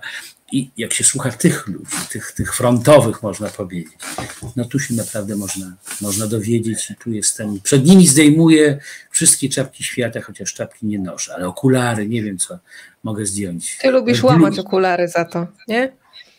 No, słuchaj, one się same łamią. One się same łamią, posłuszne zgięciom, zgięciom mojej kieszeni, w których je noszę. Y, ja tutaj przeganiam kocioł garnkowi, sama ostatnio na swoich usiadłam, ale y, hmm. chciałam wrócić do tych ludzi, o których mówiłeś przede wszystkim mm, na granicy. Lekarze na przykład na granicy, hmm. był tutaj Kuba Sieczko ze świetną też książką reporterską Pogo, y, który też z grupą przyjaciół byli tam i pomagali. Mm, fantastyczna ekipa. Powiem Ci Jarek, że trochę mnie uwiera to, że nie chciałabym, żeby zostało, bo też znam w Caritasie mnóstwo ludzi, którzy robią kawał dobrej roboty i nie chciałabym tak wszystkich wrzucić do jednego worka, więc musiałam to powiedzieć, bo by mnie to przygniotło, więc od razu. Nie, nie, nie. Ja po prostu ci. Nie, ja Caritas cenię bardzo i to jest y, wspaniała organizacja, wspaniali ludzie. Tylko nagle, kiedy ja pytam o Kościół, pytam Kościoła, dlatego że mają rzeczywiście te sale, mają te przestrzenie, to tak. przede wszystkim mówią, ale przecież biskup Ryś oddał i tak dalej, i tak dalej. No dobrze, ale pisze do mnie ksiądz, który jest szefem jednego z oddziałów Caritasu, tak, i mówi, że oczywiście oni przyjmują i mnie wyzywa od hamów, a jednocześnie mówi tak, że, że, że, że oni robią bardzo dużo, a ja jestem osobą absolutnie pozbawioną e, dobrego smaku, no to, to rzeczywiście widzę w tym jakiś problem, dlatego że oni nie rozumieją, że te sale, których jest, że oni mają obowiązek, to znaczy krótko mówiąc, ja nikomu nie składałem ślubów, tak, pomocy. Mhm. Tymczasem ich życie jest osadzone na ślubowaniu, Chrystusowi, że będą pomagali innym ludziom po prostu. Takie, I jeżeli oni mają ty, tak wiele sal w seminariach, które pustoszeją i które nie mają, czy mają mniej nowych kleryków niż w przeszłości, to oni muszą zrozumieć, że powinni się zachowywać jak święty Franciszek. Ja od nich tego oczekuję. Od papieża oczekuję, że pojedzie na Ukrainę, do Ukrainy, że stanie w miejscach najczęściej bombardowanych i da się ewentualnie zabić, dlatego że papież przyjął kiedyś purpurę kardynalską. A purpura kardynalska oznacza, jestem gotowy na śmierć męczeńską. A oni yy, mają obowiązek robić to, co święty Franciszek, to znaczy, święty Franciszek, kiedy podszedł do niego biedak i zażyczył sobie jakiejś, jakiegoś grosza, a święty Franciszek był wtedy zajęty, to powiedział później, później i zniknął mu z oczu ten człowiek. To on go szukał, biegał, wariował i biegał po Asyżu i szukał tego człowieka, bo uznał, że to jest Chrystus po prostu, że on go musi natychmiast znaleźć. I to jest branie tego typu wzorca, to znaczy szukanie tych ludzi, którym, e, którym mm, musimy pomóc. Nie, Caritas jest znakomitą organizacją, tam wiele osób robi bardzo wiele, tylko to, takie poczucie, czy brak poczucia, że e, ludzi którym trzeba pomagać, trzeba szukać po prostu zwyczajnie. Tak? To wiesz, co mi no. przyszło teraz do głowy, taki fragment i dziękuję Pani Agnieszce, chodziło mi oczywiście o medyków y, na granicy, y, lekarzy na granicy powiedziałam, ale tak, jak najbardziej dziękuję za czulność medycy na granicy. Przyszło mi takie zdanie odnośnie tego, co mówiłeś y, z godziny śródziemnomorskiej, że nie rodzimy się bohaterkami czy bohaterami, trzeba się napracować, to niełatwe i o tym też można porozmawiać. E, ale powiedz mi, jak e, planowałeś e, tę opowieść poetycką i miałeś przed sobą małego czytelnika, to ile razy się zastanawiałeś, ile on z tych symboli zrozumie? Czy oddawałeś też opowieść w taki, nazwałabym to dziecięcy radar, że czasami nie trzeba rozumieć, ale się przeczuwa, bo ja mam wrażenie, że dzieciaki tak działają i to jest dla mnie zawsze przejmujące. Ja zresztą uważam, że akurat zwierzaki, psy i dzieci mają jakiś tajemniczy język. E, więc zastanawiam się, jak to w Twojej głowie wyglądało. Oczywiście to nie jest Twoja pierwsza książka dla młodych czytelników, ale w tej jest bardzo dużo symboli, alegorii, znaków, e, jest słownik zapomnianych wyrazów, gdzie się pojawia ta empatia. Mm, to powiedz proszę, jak to wyglądało. Jeszcze troszkę istnieje tak zwana święta no, nieświadomość troszkę i brak planów. Ja nie planuję, ja rzadko planuję książkę, myśląc, jakie środki muszą zostać użyte, żeby to do kogoś trafiło. Ja jestem, to, to nie jest e, kokieteria, ja jestem trochę dziecko, wiesz, i po prostu ja piszę, ja mówię jak do swoich.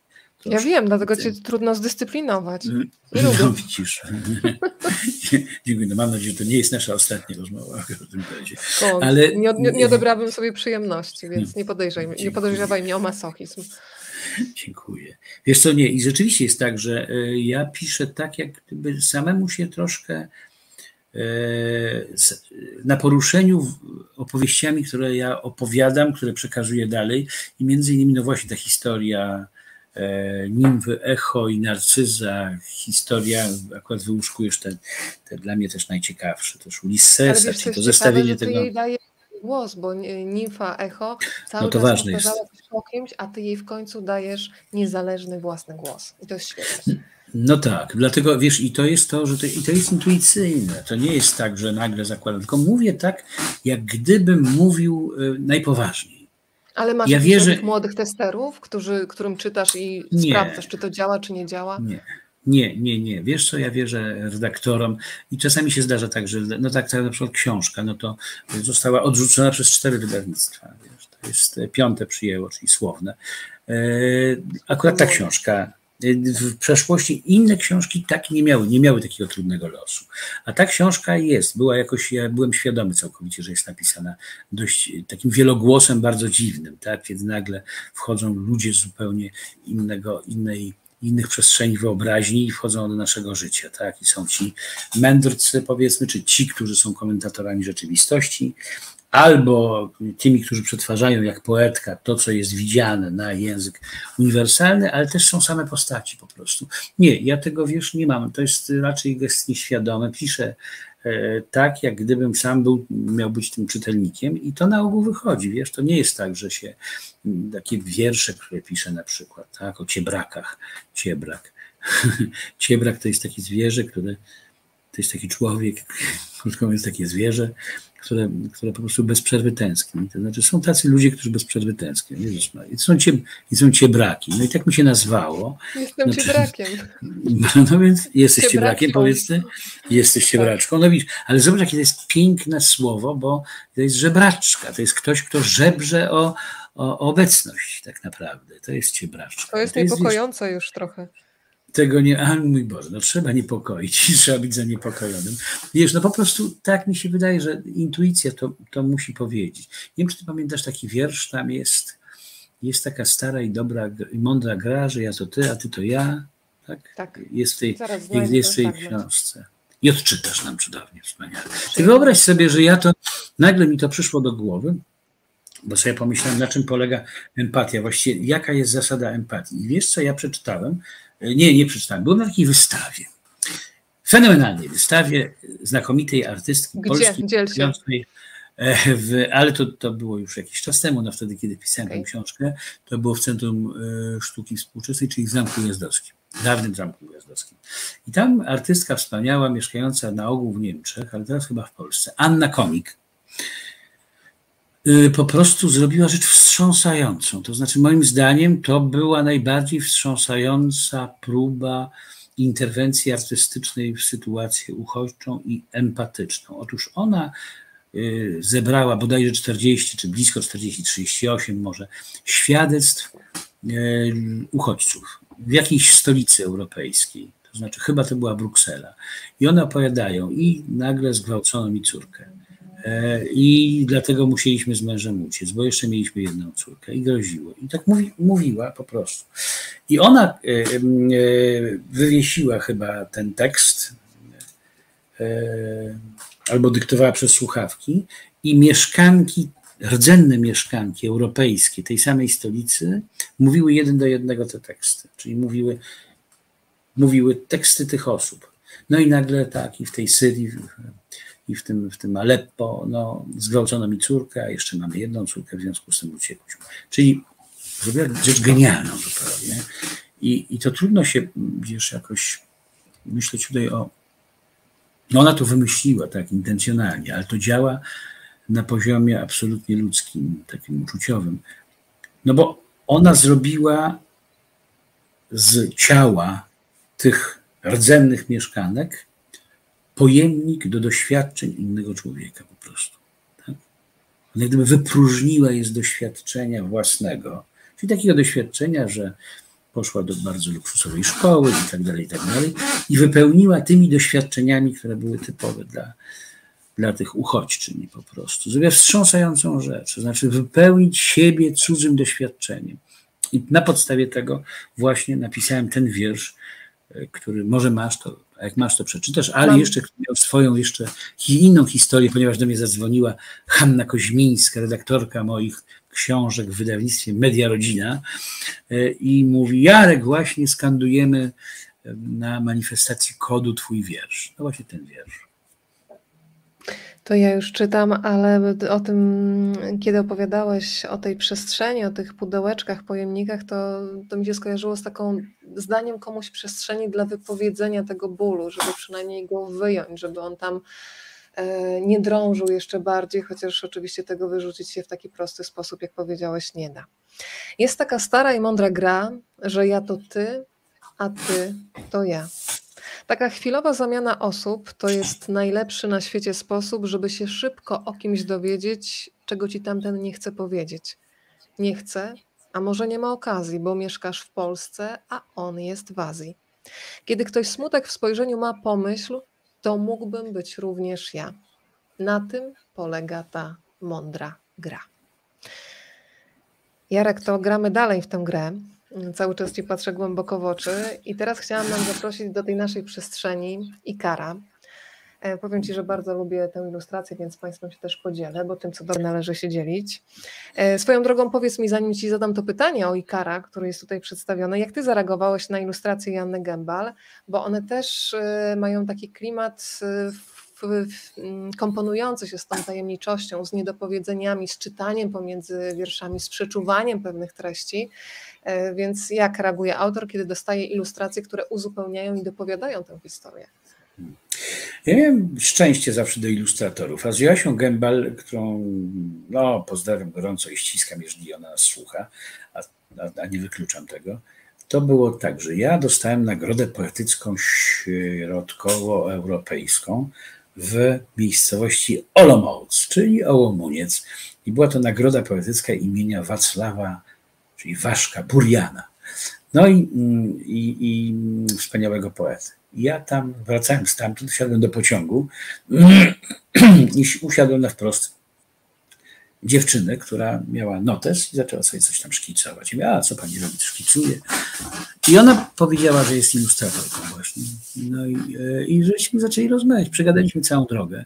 E, było bardzo zabawne. A potem, kiedy w Muzeum Literatury coś tam robiłem, Mickiewiczowskiego, to, to poprosiłem ją o wykonanie pewnej pracy, znaczy podpisaliśmy umowę na tę pracę i potem, e, i potem, a ja jej wysłałem tę książkę. Ja mówi, tak strasznie chciałaby, zaczęła robić już pierwsze rysunki, tak strasznie chciałaby ją zilustrować. No i zilustrowała. Ja miałem naprawdę szczęście ogromne do ilustratorów. No, jesteśmy takim tandemem, e, no, nie na wyłączność absolutnie ani dla, dla niej, ani dla mnie, ale z Joasią Rusinek no, która, z którą właściwie zrobiła wędrówka Nabu, to, to, to, co ona zrobiła z wędrówką Nabu. Zresztą teraz robi film animowany i ona właśnie jest reżyserką, czy jest twórczynią tego filmu.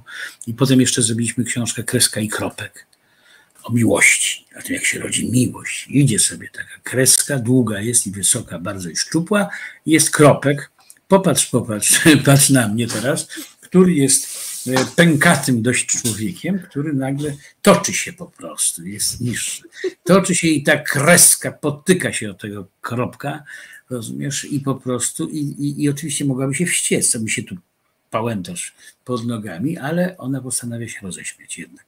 No i, się roz, i, i za, zaczyna się zabawa.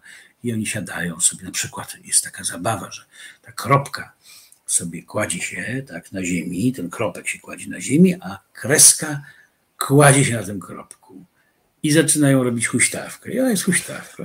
I na jedną stronę, potem na drugą. Albo na przykład kreska się kładzie, a kropek jej kładzie się na brzuchu z kolei. I ludzie, którzy przychodzą, myślą, że ona po prostu ma duży brzuch. No i no w tym wieku taki brzuch ludzie komentują, jakże to możliwe, prawda? Tylko gimnastyka i tylko spacery. No i tak dalej. Ale tak ona też jest takim ciebrakiem, prawda? Ona jest, wszyscy jesteśmy ciebrakami, jesteśmy. Nie, przy, nie przyznajemy, tak. E, natomiast e, wiesz co, i to ciebractwo jest powszechne, no mój Boże. No. E, I jest no, zakon ciebraczy, można by założyć, pomyśl sobie, jakie to by było cudowne. Ty będziesz przeorem, dobra? Dobrze. Dobrze, dobrze, dobrze. I natychmiast go rozwią rozwiążę. Nie, Joasia Rusinek, która ma cudowny zmysł do, do tego, co ja tak. lubi chyba w tym moim słowie operować, a jednocześnie ma swoją fenomenalną wyobraźnię zupełnie e, taką no, indywidualną. Uwielbiam ją jako osobę i, i to jest prawdziwa przyjaciółka i uwielbiam ją jako ilustratorkę naprawdę. Nie znam osobiście, ale bardzo lubię, więc tą drogą pozdrawiam. Może w jakiś sposób ktoś z Państwa podeśle i trafią te dobre i ciepłe słowa.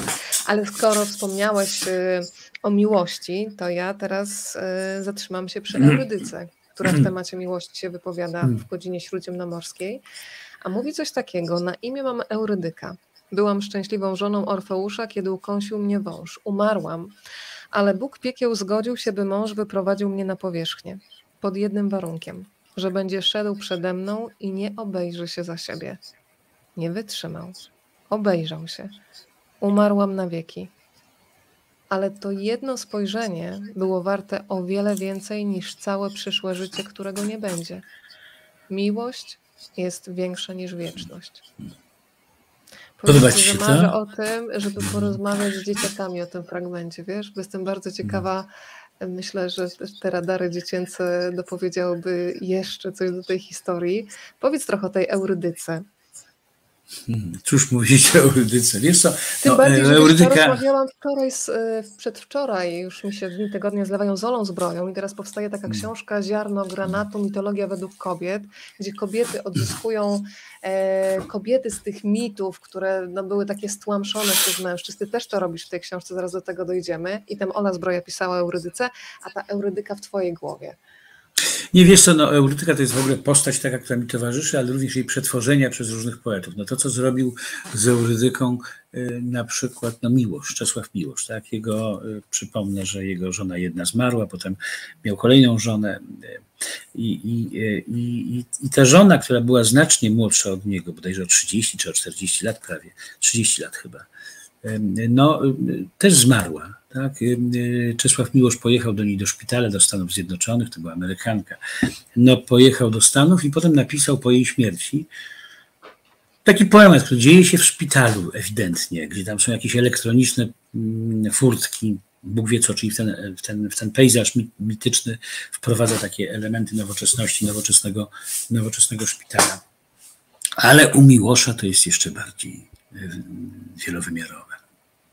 Jest mit, ale coś poeta musi, jak się zabiera za mit, to musi coś do niego dodać, musi go rozbudować, bo inaczej nie ma sensu o tym mówić. I e, Miłosz, który był człowiekiem nieprawdopodobnie kochającym życie i niesłychanie zmysłowym, niesłychanie zmysłowym zupełnie, e, pisze o tej Eurydyce w tym no, autobiograficznym właściwie poemacie. W pewnym momencie idzie przed Eurydyką, ale nagle jest, oczywiście chce ją odzyskać, ale nagle czuje przez tę dziurę jakąś w ziemi, e, czuje coś takiego, co e, czuje zapach ziemi i kwiatów po prostu. I w pewnym sensie swoją wolą mówi, właściwie, że macha ręką na tę Eurydykę, zostawia ją i ogląda się po prostu, bo bardzo chce wyjść na powietrze, wyjść na powierzchnię, tak samo, gdzie bzyczy bąk jakiś, czy i on by chciał być z tym, z tym światem, z tym światem niezwykle zmysłowym. No ta Eurydyka, e, to coś napisałem, no bo to są moje słowa, to co tam napisałem, to co przeczytałaś, sam się wzruszyłem, muszę powiedzieć, co świadczy, co świadczy jednak o wczesnej sklerozie, mi się wydaje, ale, ale to się ładnie mi powiedziało, mam takie wrażenie, rzeczywiście, no ten wzrok, no bo tam między nimi był ten jeden wzrok później, tą próbą tą próbą miłości, która jest na ziemi, no jest, są różne rzeczy, tak? No jest pamięć na przykład, tak? jeżeli ktoś umrze. E, na ile mamy pamięć? Nie taka prosta pamięć, czy pamiętasz, w związku z tym z nikim innym się nie zwiąże. To jest, wszystko są pozory jakieś tam.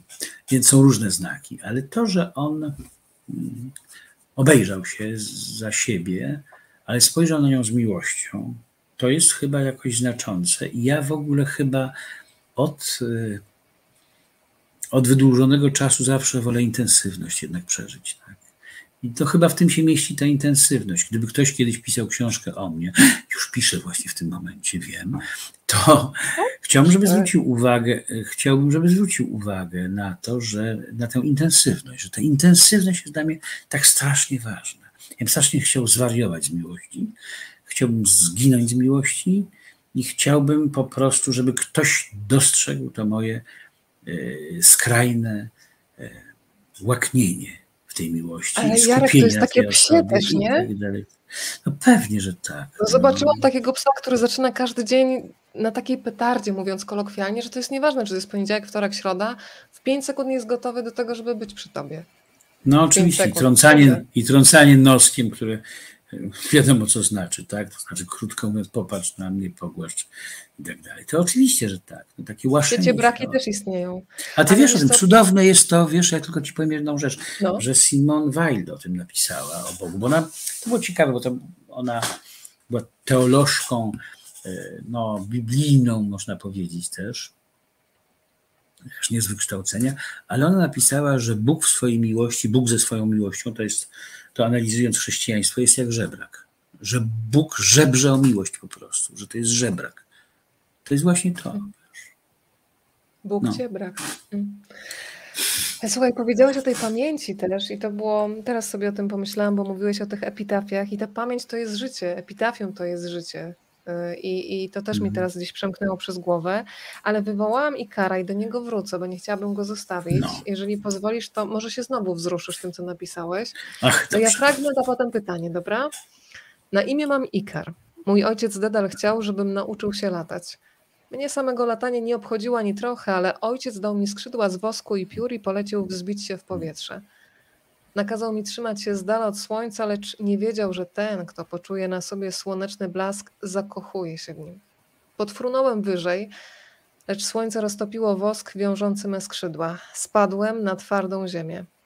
Nie ma już mnie. Pozostały niewypowiedziane marzenia i płacz ojca, który chciał dla mnie rzeczy zbyt wielkich.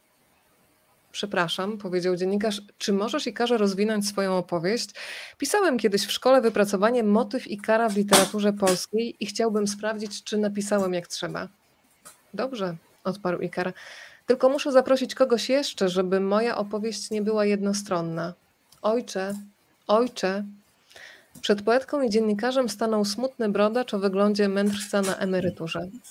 To właśnie mój ojciec, powiedział Ikar. A to mój syn rzekł Dedal. Żyliśmy sobie szczęśliwie na Krecie w pałacu króla Minosa, opowiadał Ikar. Niczego nam nie brakowało, bo mój ojciec był królewskim inżynierem, aż pewnego razu żonie króla urodził się potwór. Niby o nikim nie można mówić, że jest potworem, wtrącił Dedal, ale tym razem chyba można.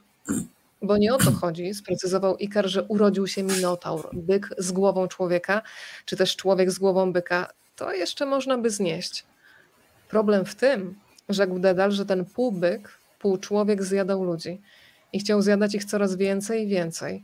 Król Minos sam bał się tego potwora, więc kazał mi zbudować dla niego więzienie.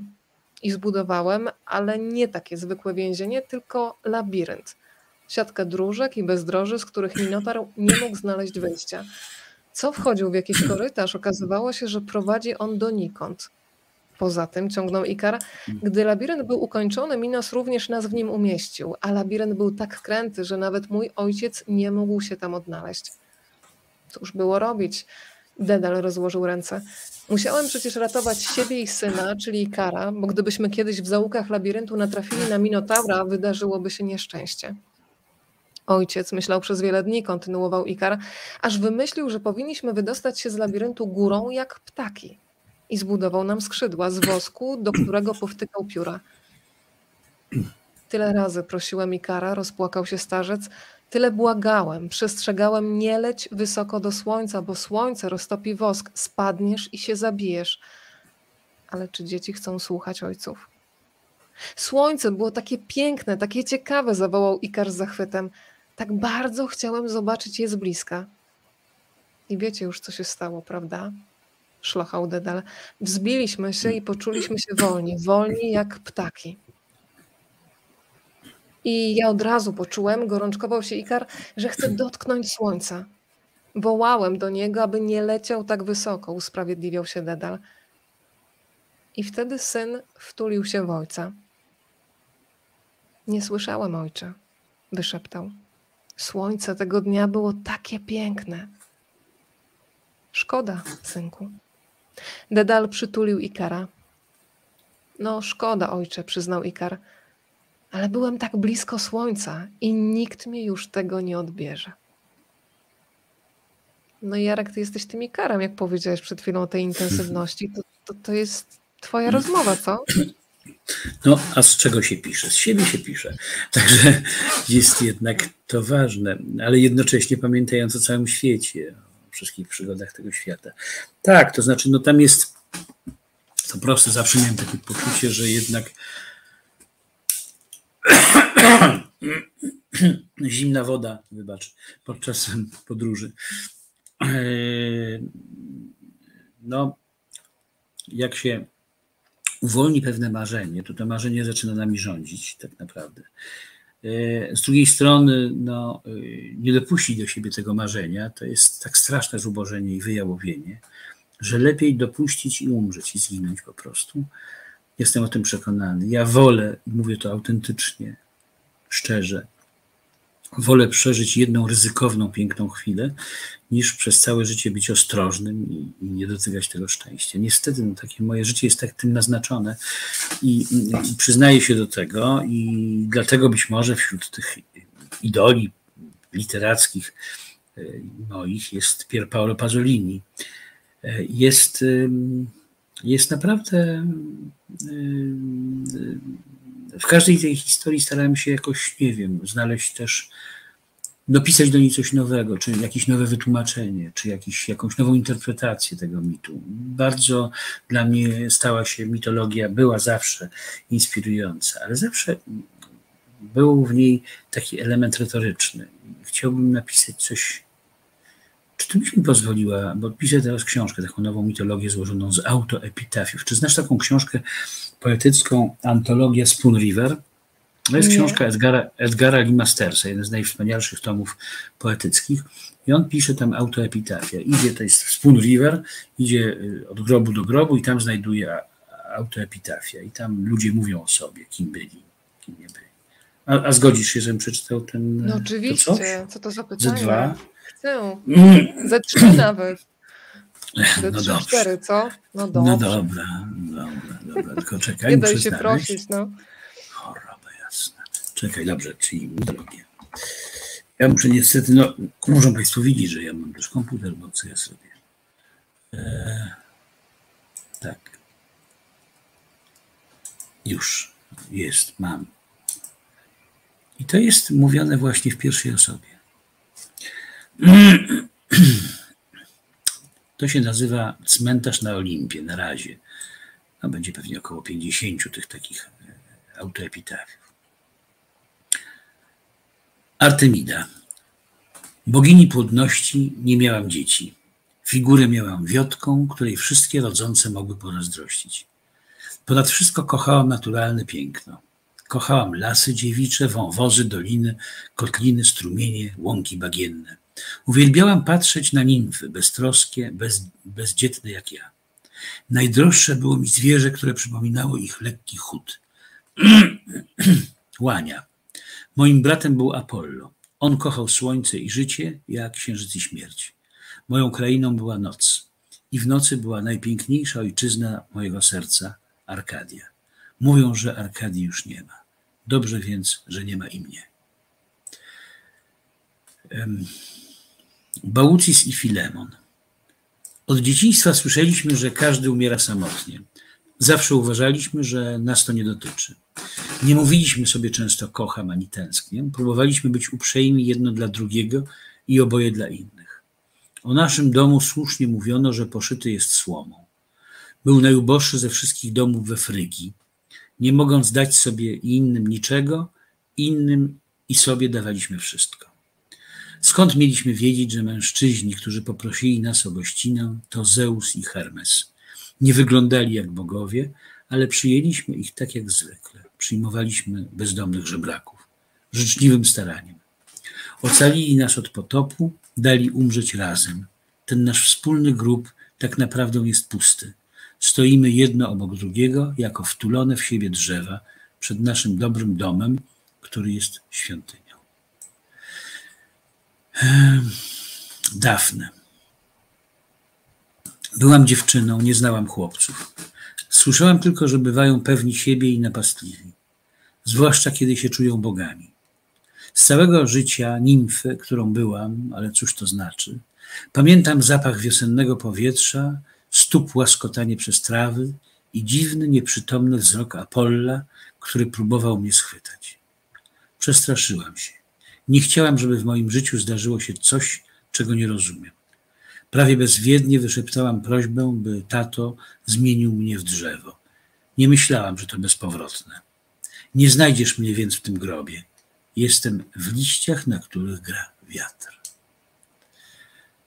Demeter. Byłam jedną z wielu matek, które opłakują dzieci, jedyną, której życie odmierzają nieuchronne odejścia i niepewne powroty. Moje życie od samego początku było przerażające. Kiedy się urodziłam, połknął mnie Kronos. Dowiedziałam się później, że jest moim ojcem. Ktoś mu powiedział, że z tronu strąci go własne dziecko, więc postanowił pożreć mnie, moje siostry i moich braci. Na szczęście nas zwymiotował. Kiedy urodziła mu mu się, mi się Persefona, porwał ją mój brat Hades, król podziemi. Dawałam ziemi kwiaty i zboża, zioła i drzewa, lecz kiedy moja córka zniknęła w podziemnym królestwie, usiadłam i płakałam. Nie chciałam żyć, nie, należa, nie zależało mi na życiu innych. Kiedy płakałam, mówili, że to ryczy Etna. W rozpaczy nie rodziłam owoców. Pozwalałam na śmierć z zimna i głodu. Z troski o tych, którzy mu składali ofiary, Zeus sprawił, że Persefona na pół roku do mnie powraca. Patrząc na rozkwit słoneczników i słońca, Ludzie mówią, że poznali tajemnicę wiosny. Oby nigdy nie weszli w tajemnicę zimy. No to pozwolę sobie jeszcze tę echo. Echo. Byłam nimfą, nimfą. Pokochałam pięknego narcyza. Narcyza. Narcyz mnie nie kochał i nie kochał nikogo. Nikogo. Z miłości rozpłynęłam się w powietrzu, powietrzu. Ze wszystkiego, czym byłam, został tylko głos, głos, pogłos, pogłos, stróżka głosu, głosu. Nawet nie mojego, mojego, tylko tych, którzy mówią do mnie, do mnie. Jestem tylko wtedy, kiedy do mnie mówisz, mówisz. Więc mów, mów. W tym grobie moim, nie moim, powtarzam pod ziemią Twój głos, głos. No, myślę, że wystarczy. I znowu, słuchaj, moja głowa cały czas rozmawia fragmenty. Dzisiaj czytałam też wspomnianego dzisiaj Andrzeja Franaszka o głosie, który jest przedłużeniem dotyku, więc mam wrażenie, że my dzisiaj faktycznie dotykamy Państwa duszy i, i, i ten dotyk, który jest tak ważny też przy odchodzeniu przecież. Tam jest taki fragment o tym, kiedy trzyma się za rękę umierającą osobę, kiedy już słowa nie docierają, ale z taką nadzieją, że ten dotyk jednak jest y, silniejszy od słów. To teraz mi się przypomniało. E, Jarek, y, Państwo no tak, są z nami, więc... Mów, mów proszę. Nie, zawsze pragniemy rzeczywiście, żeby to jest takie prawie zaklęcie i dobre życzenie, to znaczy jest, no żeby ktoś nas trzymał za rękę, tak? To znaczy, żeby ktoś nas trzymał za rękę. To ja rozmawiałem, e, wiesz, że przyjaźniłem się z księdzem Kaczkowskim, który mi bardzo wiele opowiadał, zabierał mi ze sobą do, do Pucka, do, do swojego hospicjum i opowiadał o tym właśnie, tak, jak, się, jak ten dotyk jest ważny, a jednocześnie przyzwolenie na odejście. Tylko taki dotyk, który nie jest przytrzymaniem po naszej stronie, tylko takie całkowite oddanie wolności, odejść, pozwól sobie odejść, o umierający, nie chcę cię tu trzymać, ale chcę, żebyś czuł, że ta więź ze światem, jaką nawiązaliśmy, jest najbardziej istotna, chociaż nic nie może w stosunku do ciebie. Nie może nie może zagwarantować tym, którzy pozostają, zatrzymanie ciebie tutaj wśród, wśród nich.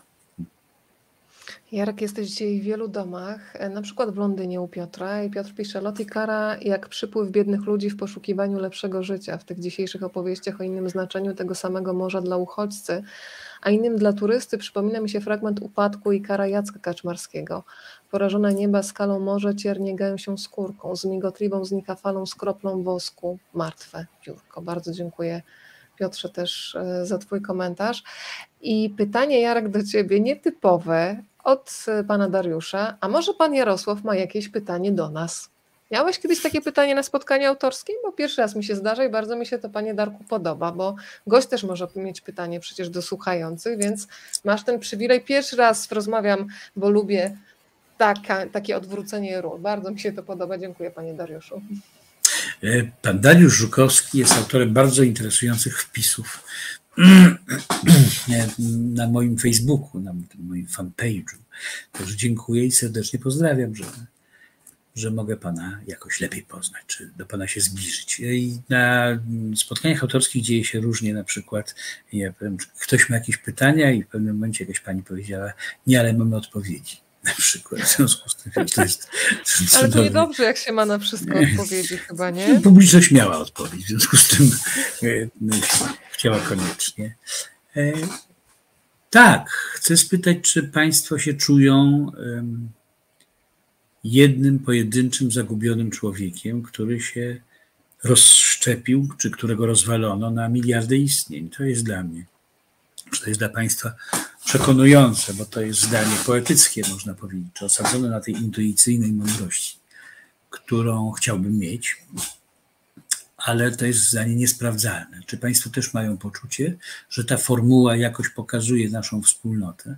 Istnieje coś takiego jak e, no, dzieciństwo i w dzieciństwie mądrzy nauczyciele w szkołach mówią nam, że nie jesteśmy cielętami. Znaczy tak, głupi nauczyciele mówią, że jesteśmy cielętami. Potem przychodzą mądrzy nauczyciele, mówią, że nie jesteśmy cielętami, tylko jesteśmy indywidualnościami. Ale potem są ci najmądrzejsi nauczyciele, mam wrażenie, które, e, które, e, którzy mówią, że jesteśmy wszyscy siebie podobni, że jesteśmy właściwie hmm, e, absolutnie z jednej gliny. Czy Państwa to przekonuje? Oto teraz proszę odpowiedź. To czekamy na Państwa odpowiedzi, a jak mówiłeś o tym takim rozszczepieniu, to ja mam wrażenie, że tak jak dzisiaj tutaj siedzimy, e, to nawet mam pewność, że wszyscy się mierzymy w różnym stopniu, pewnie z bezradnością. Wiesz co, przypomniał mi się taki mój przyjaciel sprzed lat. Trochę nam się po drodze drogi rozeszły, ale pamiętam i wspominam go bardzo dobrze. Mieliśmy taki etap, kiedy rozmawialiśmy na różne trudne tematy i kiedy już dochodziliśmy do ściany, bo nie było żadnego rozwiązania on wychodził i mówił, kiedy nie wiadomo co zrobić, należy zaparzyć herbatę. I wracał z kubkiem parującej herbaty. Wcale nie była mniejsza ta bezradność, ale rozdzielona na dwie osoby i jeszcze ciepło herbaty była jednak czymś, co, co grzało, a swoją drogą bardzo lubię też powiedzenie o tym, że czasami takie herbaty wypite lata temu potrafią grzać potem przez kolejne lata. E, i takich herbat Państwu w dobrym towarzystwie rzecz jasna życzę. Ale powiedz Jarek, bo tutaj dałeś nam przedsmak tego, co dopiero się pojawi, powiedz kiedy i gdzie, a ja jeszcze zaraz wrócę do godziny śródziemnomorskiej, bo tam też się zatrzymałam przy historii Demeter i Persefony, ale to powiem dlaczego, ale najpierw powiedz, gdzie szukać e, i kiedy się pojawi w całości to, to mitologia, tak. No, moja mitologia pojawi się w wydawnictwie literackim, ale dopiero w przyszłym roku. Natomiast w tym roku, we wrześniu, pojawi się nowy tom wierszy, e, który już został zatwierdzony i jest zatytułowany Życie na Xanaxie jak gdyby Xanax był planetą. Ale życie na Xanaxie to jest bardzo specyficzna sytuacja, którą rozumieją chyba tylko ci, którzy tak do końca, którzy żyją na Xanaxie. Ale też wszyscy chyba tak, bo to jest jeden krótki wiersz, życie na Xanaxie, ale całość, no takim był etap mojego życia, kiedy pisałem te wiersze, to było życie na Xanaxie po prostu. Tak, istnieją, e, w tym wierszu jest coś takiego, jak istnieją również inne, jeszcze piękniejsze planety ten Xanax jest taką planetą jak Mars. Życie na Marsie, życie na Xanaxie. Jarek, to tego się dowiedziałam. Czekamy. Państwo tu już, już czekają na książkę. Mm, o, kolejne pytanie od Państwa, ale jeszcze wrócę tylko do tego, żeby nam to nie uciekło. Demeter i Persefona.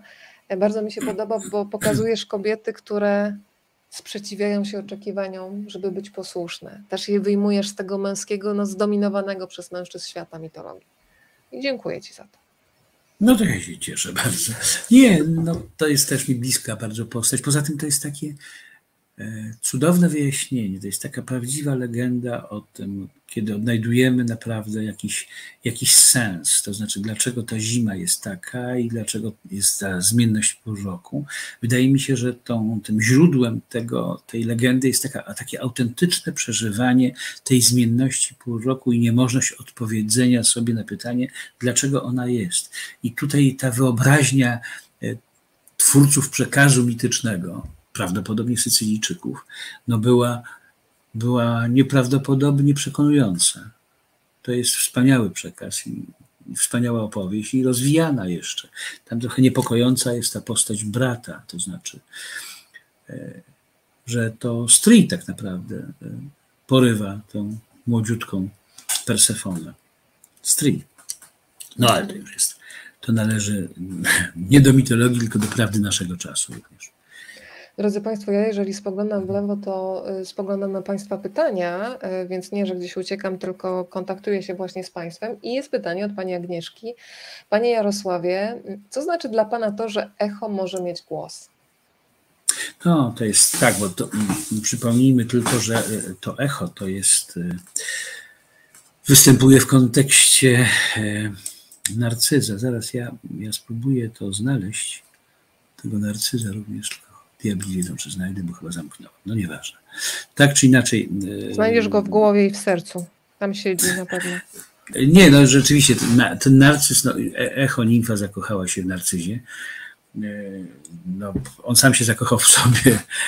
Krótko mówiąc, nie mógł odwzajemnić tej miłości, dlatego że odwzajemniał jedyną miłość do siebie samego. Tak? Kochał siebie samego z wzajemnością. Czasami Czyli kochali tę samą osobę, jak piszesz no. wspaniale w godzinie śródziemnomorskiej. No tak, tak, tak. A echo może mieć głos. To jest po prostu wyzwolenie się. Wyzwolenie się z tego opętania całkowitego, czy z tej niewoli uczuciowej. Odzyskać swój głos, tak? Nie powtarzać samą siebie, czyli właściwie oczekiwania, jakie mają w stosunku do nich. Tylko to jest po prostu akt wolności, tak? A zrzucenie sobie, uznanie, że, jest, że własna niemoc jest rzeczą e, nieoczywistą i że może zawsze ulec zmianie. to echo jest bardzo, echo powinno być symbolem tak naprawdę e, jakiegoś ruchu milczących kobiet, tak? czy kobiet zmuszonych do milczenia, które nagle odzyskują głos, mają tę aspirację, żeby mówić własnym głosem. Chociaż tak naprawdę w historii mitycznej no nie ma takiego momentu, żeby echo zaprotestowała po prostu. Ona, ona po prostu niknie. To jest straszne. To jest opis osoby, która traci własną osobowość. Tak naprawdę, bo echo znika. Echo nie ma. Echa to jest ta nimfa, która kocha narcyza jest w takiej rozpaczy i tak bardzo nie może y, nawiązać kontaktu z, z narcyzem, że po prostu niknie. Pozostaje sam głos i, i, i tylko głos, a ona sama się roztapia. To jest taki materiał tak naprawdę na, na wielkie, cudowne studium filozoficzne. Echo. Y, takie o echo cudownie pisali włoscy pisarze, między innymi Cesare Pavese, który był wielkim znawcą, wielkim znawcą, znawcą mitologii. Ale tak kochać, tak rozpaczać, że aż zanegować własny głos, stracić własny głos, aż w końcu zniknąć materialnie, no to jest materiał na, na opowieść bardzo głęboką, myślę, i bardzo prawdziwą. To kolejne pytanie do Ciebie. Bardzo jestem ciekawa, co odpowiesz. Pani Janna pyta, ważniejsza miłość czy marzenia? Trochę do tej historii Dedala i Kara.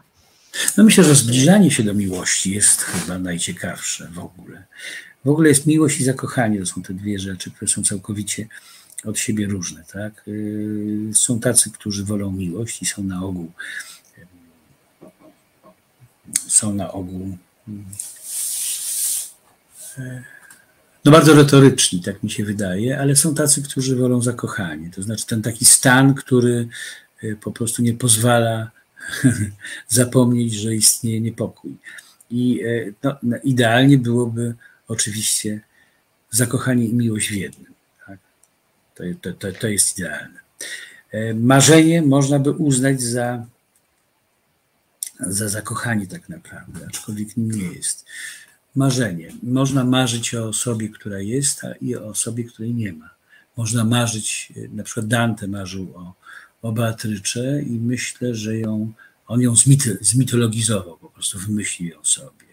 Ale nie marzył tak naprawdę o tym y, spotkaniu, tylko on uważał, że to jest ten los, ten anioł, który prowadzi go po ścieżkach świata. Myślę, że intensywne marzenie jest zakochaniem, tak mi się wydaje. No i to jest bardzo ważne, ale też intensywne marzenie, spełnione i szczęśliwe jest miłością.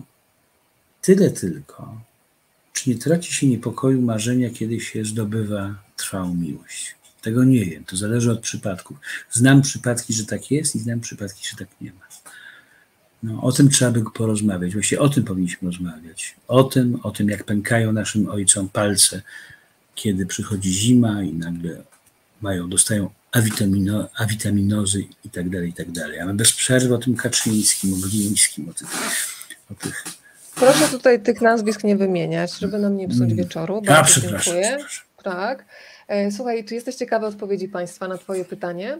Pani Marzena napisała, w pragnieniach, potrzebach, emocjach i egzystencjalnych problemach jesteśmy tacy sami, w indywidualnym doświadczeniu tego samotni.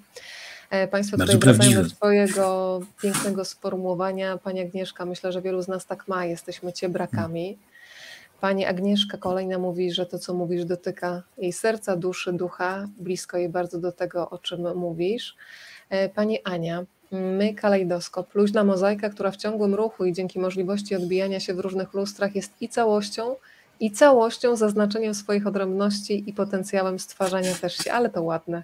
Zobaczyłam sobie, wiesz jak dawno nie miałam kalejdoskopu w rękach, a teraz to poczułam, więc Pani Ani. E, pani Basia jeszcze. Nie, nie jesteśmy z jednej gliny. Anatomicznie tak, mamy te same organy, układ kostny, krwionośny, nawet nerwowy, ale już ten ostatni u każdego z nas inaczej funkcjonuje. Inna jest nasza wrażliwość, inne są nasze emocje, mamy różne priorytety i zdolność percepcji. Myślę, że różnic jest więcej zdecydowanie niż podobieństw. To właśnie jest e, piękne.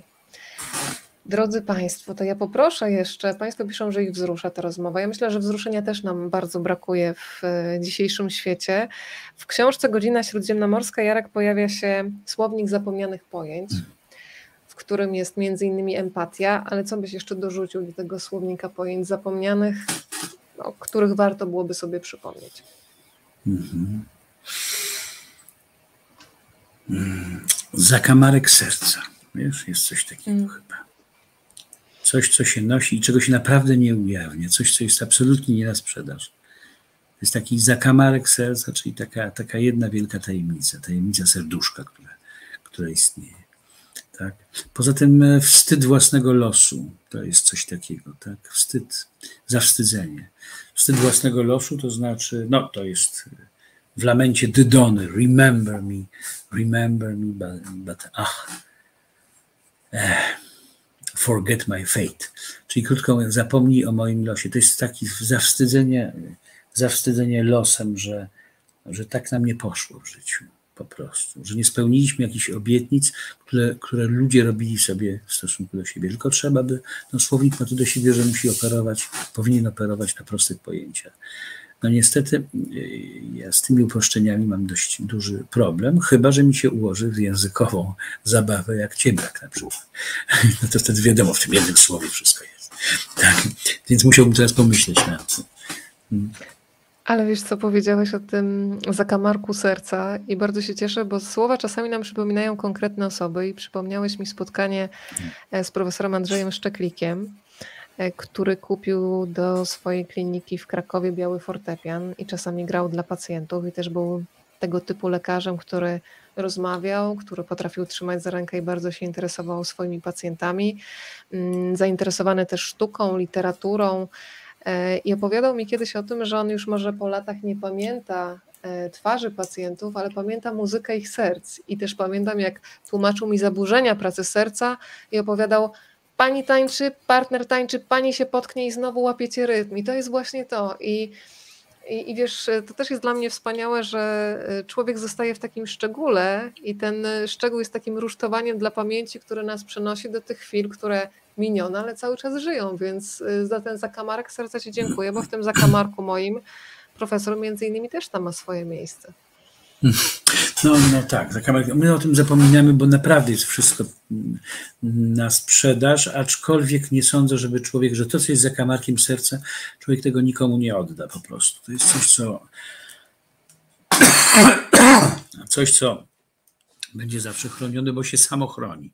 Znaczy tego się nie da jakoś powiedzieć, nie da się powiedzieć. Tak. E, jest mnóstwo, możemy zrobić taki słownik w przyszłości, jeszcze może napisać. Już poza tą książką, bo w tej książce po prostu chodziło o przypomnienie pewnego no takich właśnie, takiej zdolności człowieka do tego, żeby tworzyć pojęcia na bazie własnego doświadczenia i, i, i, kiedy uzna się je za sensowne. Słuchaj, powoli tracisz głos, ale jakieś ciało mądre, bo zbliżamy się, nie wiem czy wiesz, ale za cztery minuty mm, się okaże, że rozmawiamy już dwie godziny. Pani Agnieszka napisała zakamarek serca. Jak dawno nie słyszałam tego pojęcia, do zakamarków serca chyba sami rzadko zaglądamy. Tam chowają się te uczucia, do których sami niechętnie się przyznajemy, być może te najważniejsze, które najbardziej nas określają. A Ania z Londynu pisze o tym wstyd własnego losu. Bardzo to prawdziwe, bardzo. E, mówiłam, że będziemy współodczuwać niezależnie od tego, czy Państwo są w Londynie, w Anglii, w Irlandii, za oceanem i to mnie zawsze właśnie jakoś wzrusza, a wzruszenie akurat uważam, że jest jedną z tych rzeczy, która jest nam e, wręcz niezbędna w codzienności. E, Jarek, my mamy jeszcze jedno spotkanie, które musimy odbyć, psie spotkanie, dobra? To ja tutaj mhm. się przypomnę i do siebie się zgłoszę i już mentalnie macham ogonem. E, na samą myśl. E, natomiast e, tak sobie patrzę jeszcze na to, co sobie rozpisałam. I Cyprian Norwid mi tutaj znowu z książki Andrzeja Franaszka się uśmiecha. Z rzeczy świata tego zostaną tylko dwie, tylko poezja i dobroć. To jest święta nic więcej. No, że nic więcej to jeszcze to trudno powiedzieć, chyba że rzeczywiście, znaczy poezja, wszystko jest.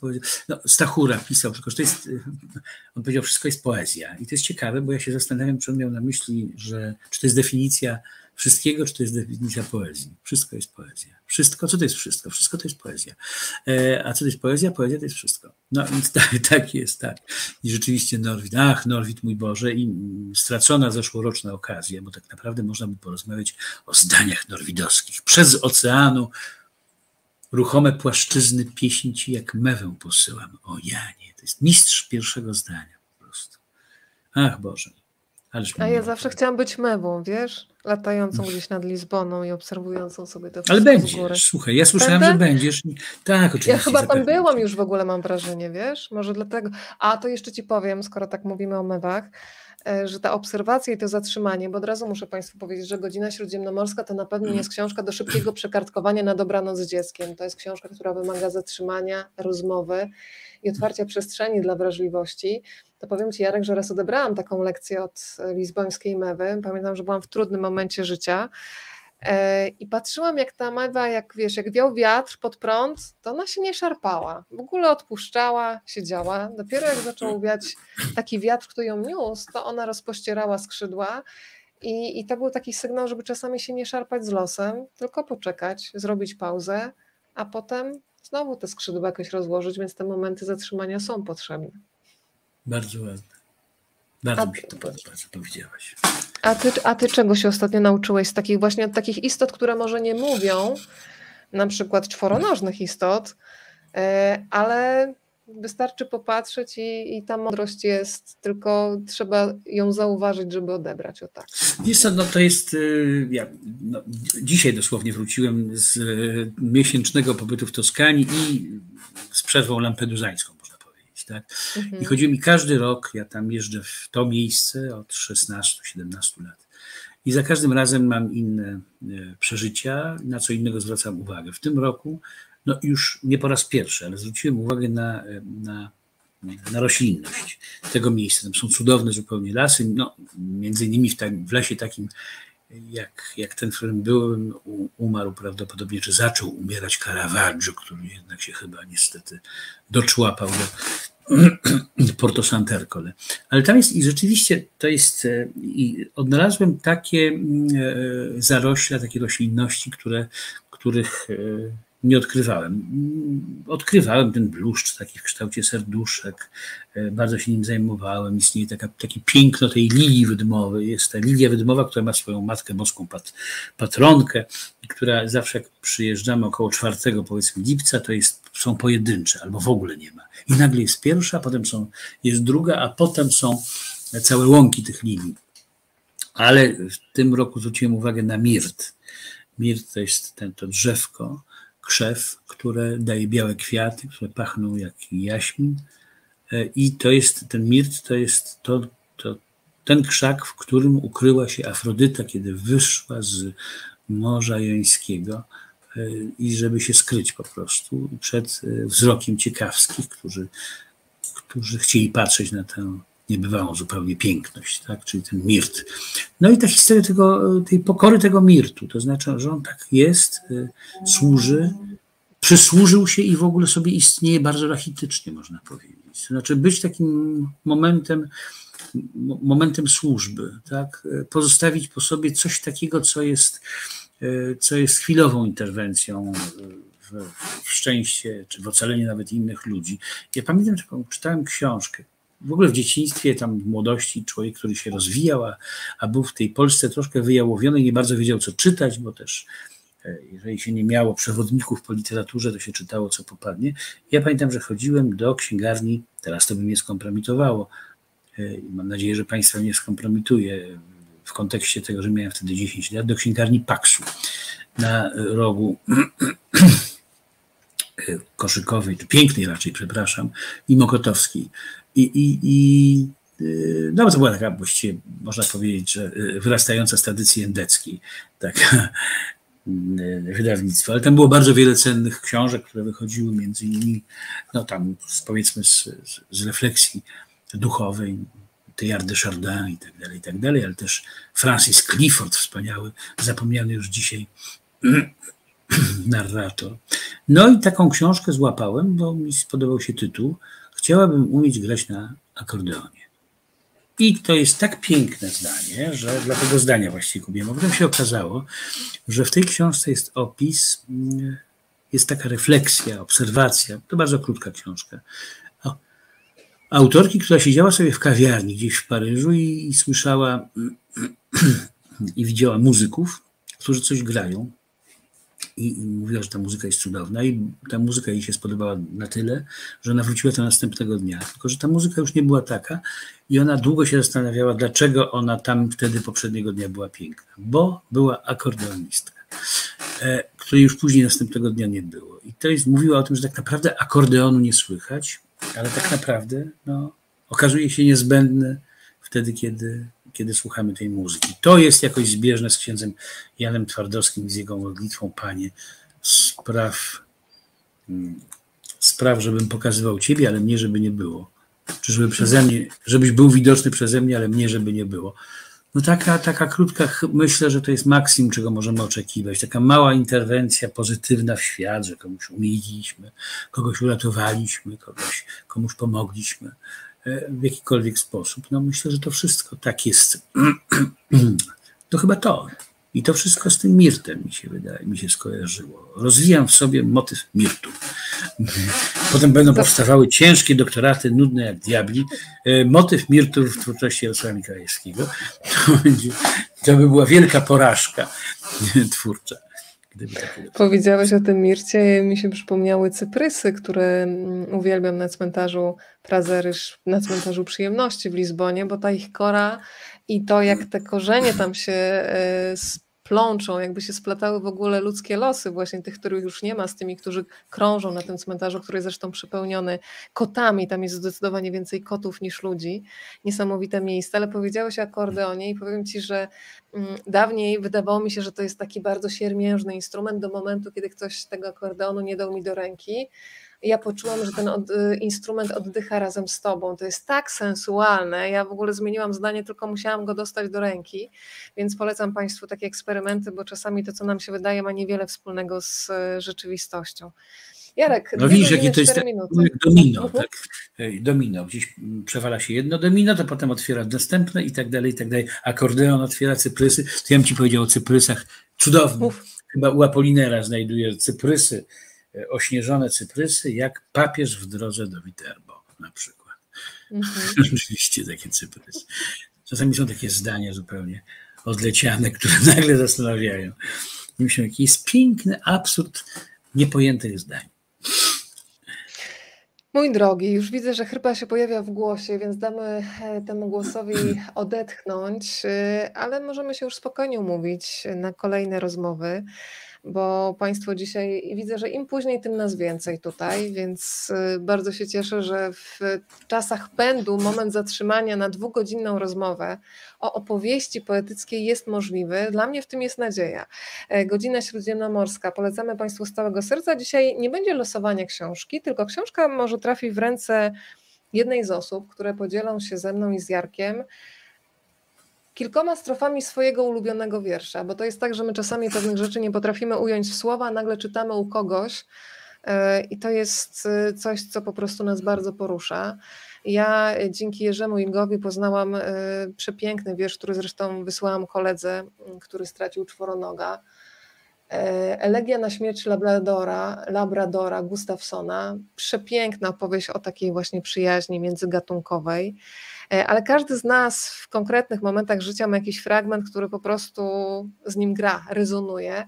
Więc będę wdzięczna, jeżeli się Państwo podzielą tymi wierszami. Ja je oczywiście podeślę do Jarka i wybierzemy sobie jedną z osób, e, do której książka powędruje. Rozmawiam, bo lubię małpa gmail.com, to jest ten adres. A będziemy Jarek, mieli co... okazję przy okazji, tak? wiesz, tej książki, tej poetyckiej, to znaczy Życie na Ksanaksie. Ja mhm. z radością się z Państwem spotkam. Wtedy pogadamy może o tym, czy wiersz nie jest mową najlepszą jednak. No. Ja bardzo wierzę. się już, więc ja go przyjmuję z otwartymi ramionami. Dobrze, a teraz ja ci odmówię. Ty mnie zaprosisz, a ja teraz ci odmówię spektakularnie. Nie? A ja będę musiała dzwonić, tak? I dobijać A ja będę w Honolulu gdzieś tam i Bóg wie co. To, to wystarczy, że będziesz w Toskanii bez y, stabilnego łącza i już nic z tego nie będzie. Ale wrócę do tego, od czego zaczęliśmy.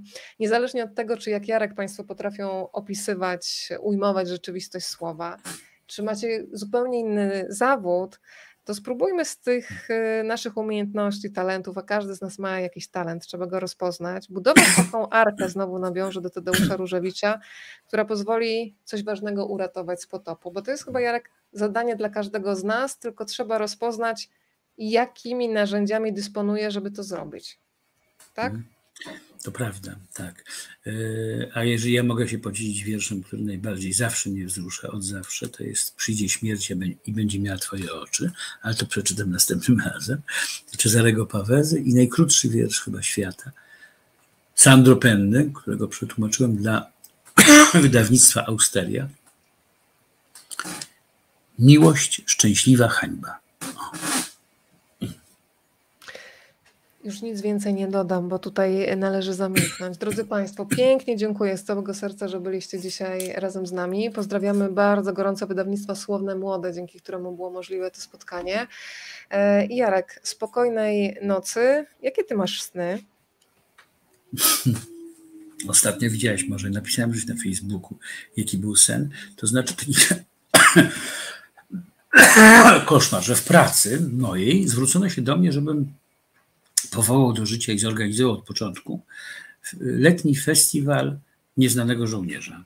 Wiesz co? I się strasznie natrudziłem, w ogóle nic nie mogłem z tym zrobić, ponieważ nie mogłem e, skaptować żadnego nieznanego żołnierza do mojego festiwalu i wrzeszczałem dookoła i mówię, ludzie, przecież oni nie żyją, są nieznanymi żołnierzami, którzy, więc jak ja mam tutaj sprowadzić na festiwal nieznanego żołnierza?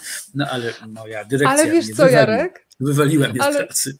Ale to my Cię przyjmujemy, ja teraz będę Panią Dyrektor, Cię zatrudniam, bo razem z Państwem w sumie, to o czym przed chwilą mówiłam, zorganizowaliśmy Festiwal Nieznanego Wiersza, bo my dzięki Państwu będziemy się wymieniać tym, czego nie znamy, a każdy z nas jest niedoczytany, tak myślę, i ma ciekawość odkrywania, więc organizujemy na finał Festiwal Nieznanego Wiersza, którym będziemy się tutaj dzielić i stanie się znany, ok? Tak to przeponuję. Cudownie. Cudownie. Jarosław Mikołajewski był razem z Państwem. Spokojnego wieczoru y, i dobrych snów, nie koszmarów, ok? Dziękuję i dziękuję Państwu bardzo naprawdę za uwagę. Bardzo jest mi miło, widzę niektóre nazwiska i, e, i pseudonimy, które, które znajduję również na tym swoim Facebooku, jako takie właśnie wizytówki e, bardzo ciepłego, bardzo gorącego zainteresowania. Bardzo, bardzo dziękuję, że Państwo tak że Państwu się dobrze kojarzę, niektórym przynajmniej z Państwa. Dziękuję Weroniko, dziękuję. Rozkosz, rozkosz z Tobą rozmawiać naprawdę. Także bardzo Ci dziękuję. Jesteś bardzo Ci dziękuję. Jeżeli będziesz miał ochotę, to zajrzyj na Rozmawiam, bo lubię. Jak będziesz miał ochotę y, poczytać jeszcze, bo tu bardzo dużo dobrych słów w Twoją stronę płynie, to ja Ci podeślę link, tak żebyś mógł je wszystkie y, przeczytać. Bo chyba każdy z nas ma taki magazyn dobrych wspomnień i ja ten wieczór do tego magazynu dobrych wspomnień już y, pakuję i będę sobie zaglądać, jak mi będzie brakowało tego dobra. Spokojnej nocy. Dziękuję. Bardzo Państwu dziękuję. Jarosław Mikołajewski był dziś razem z nami. Dziękuję.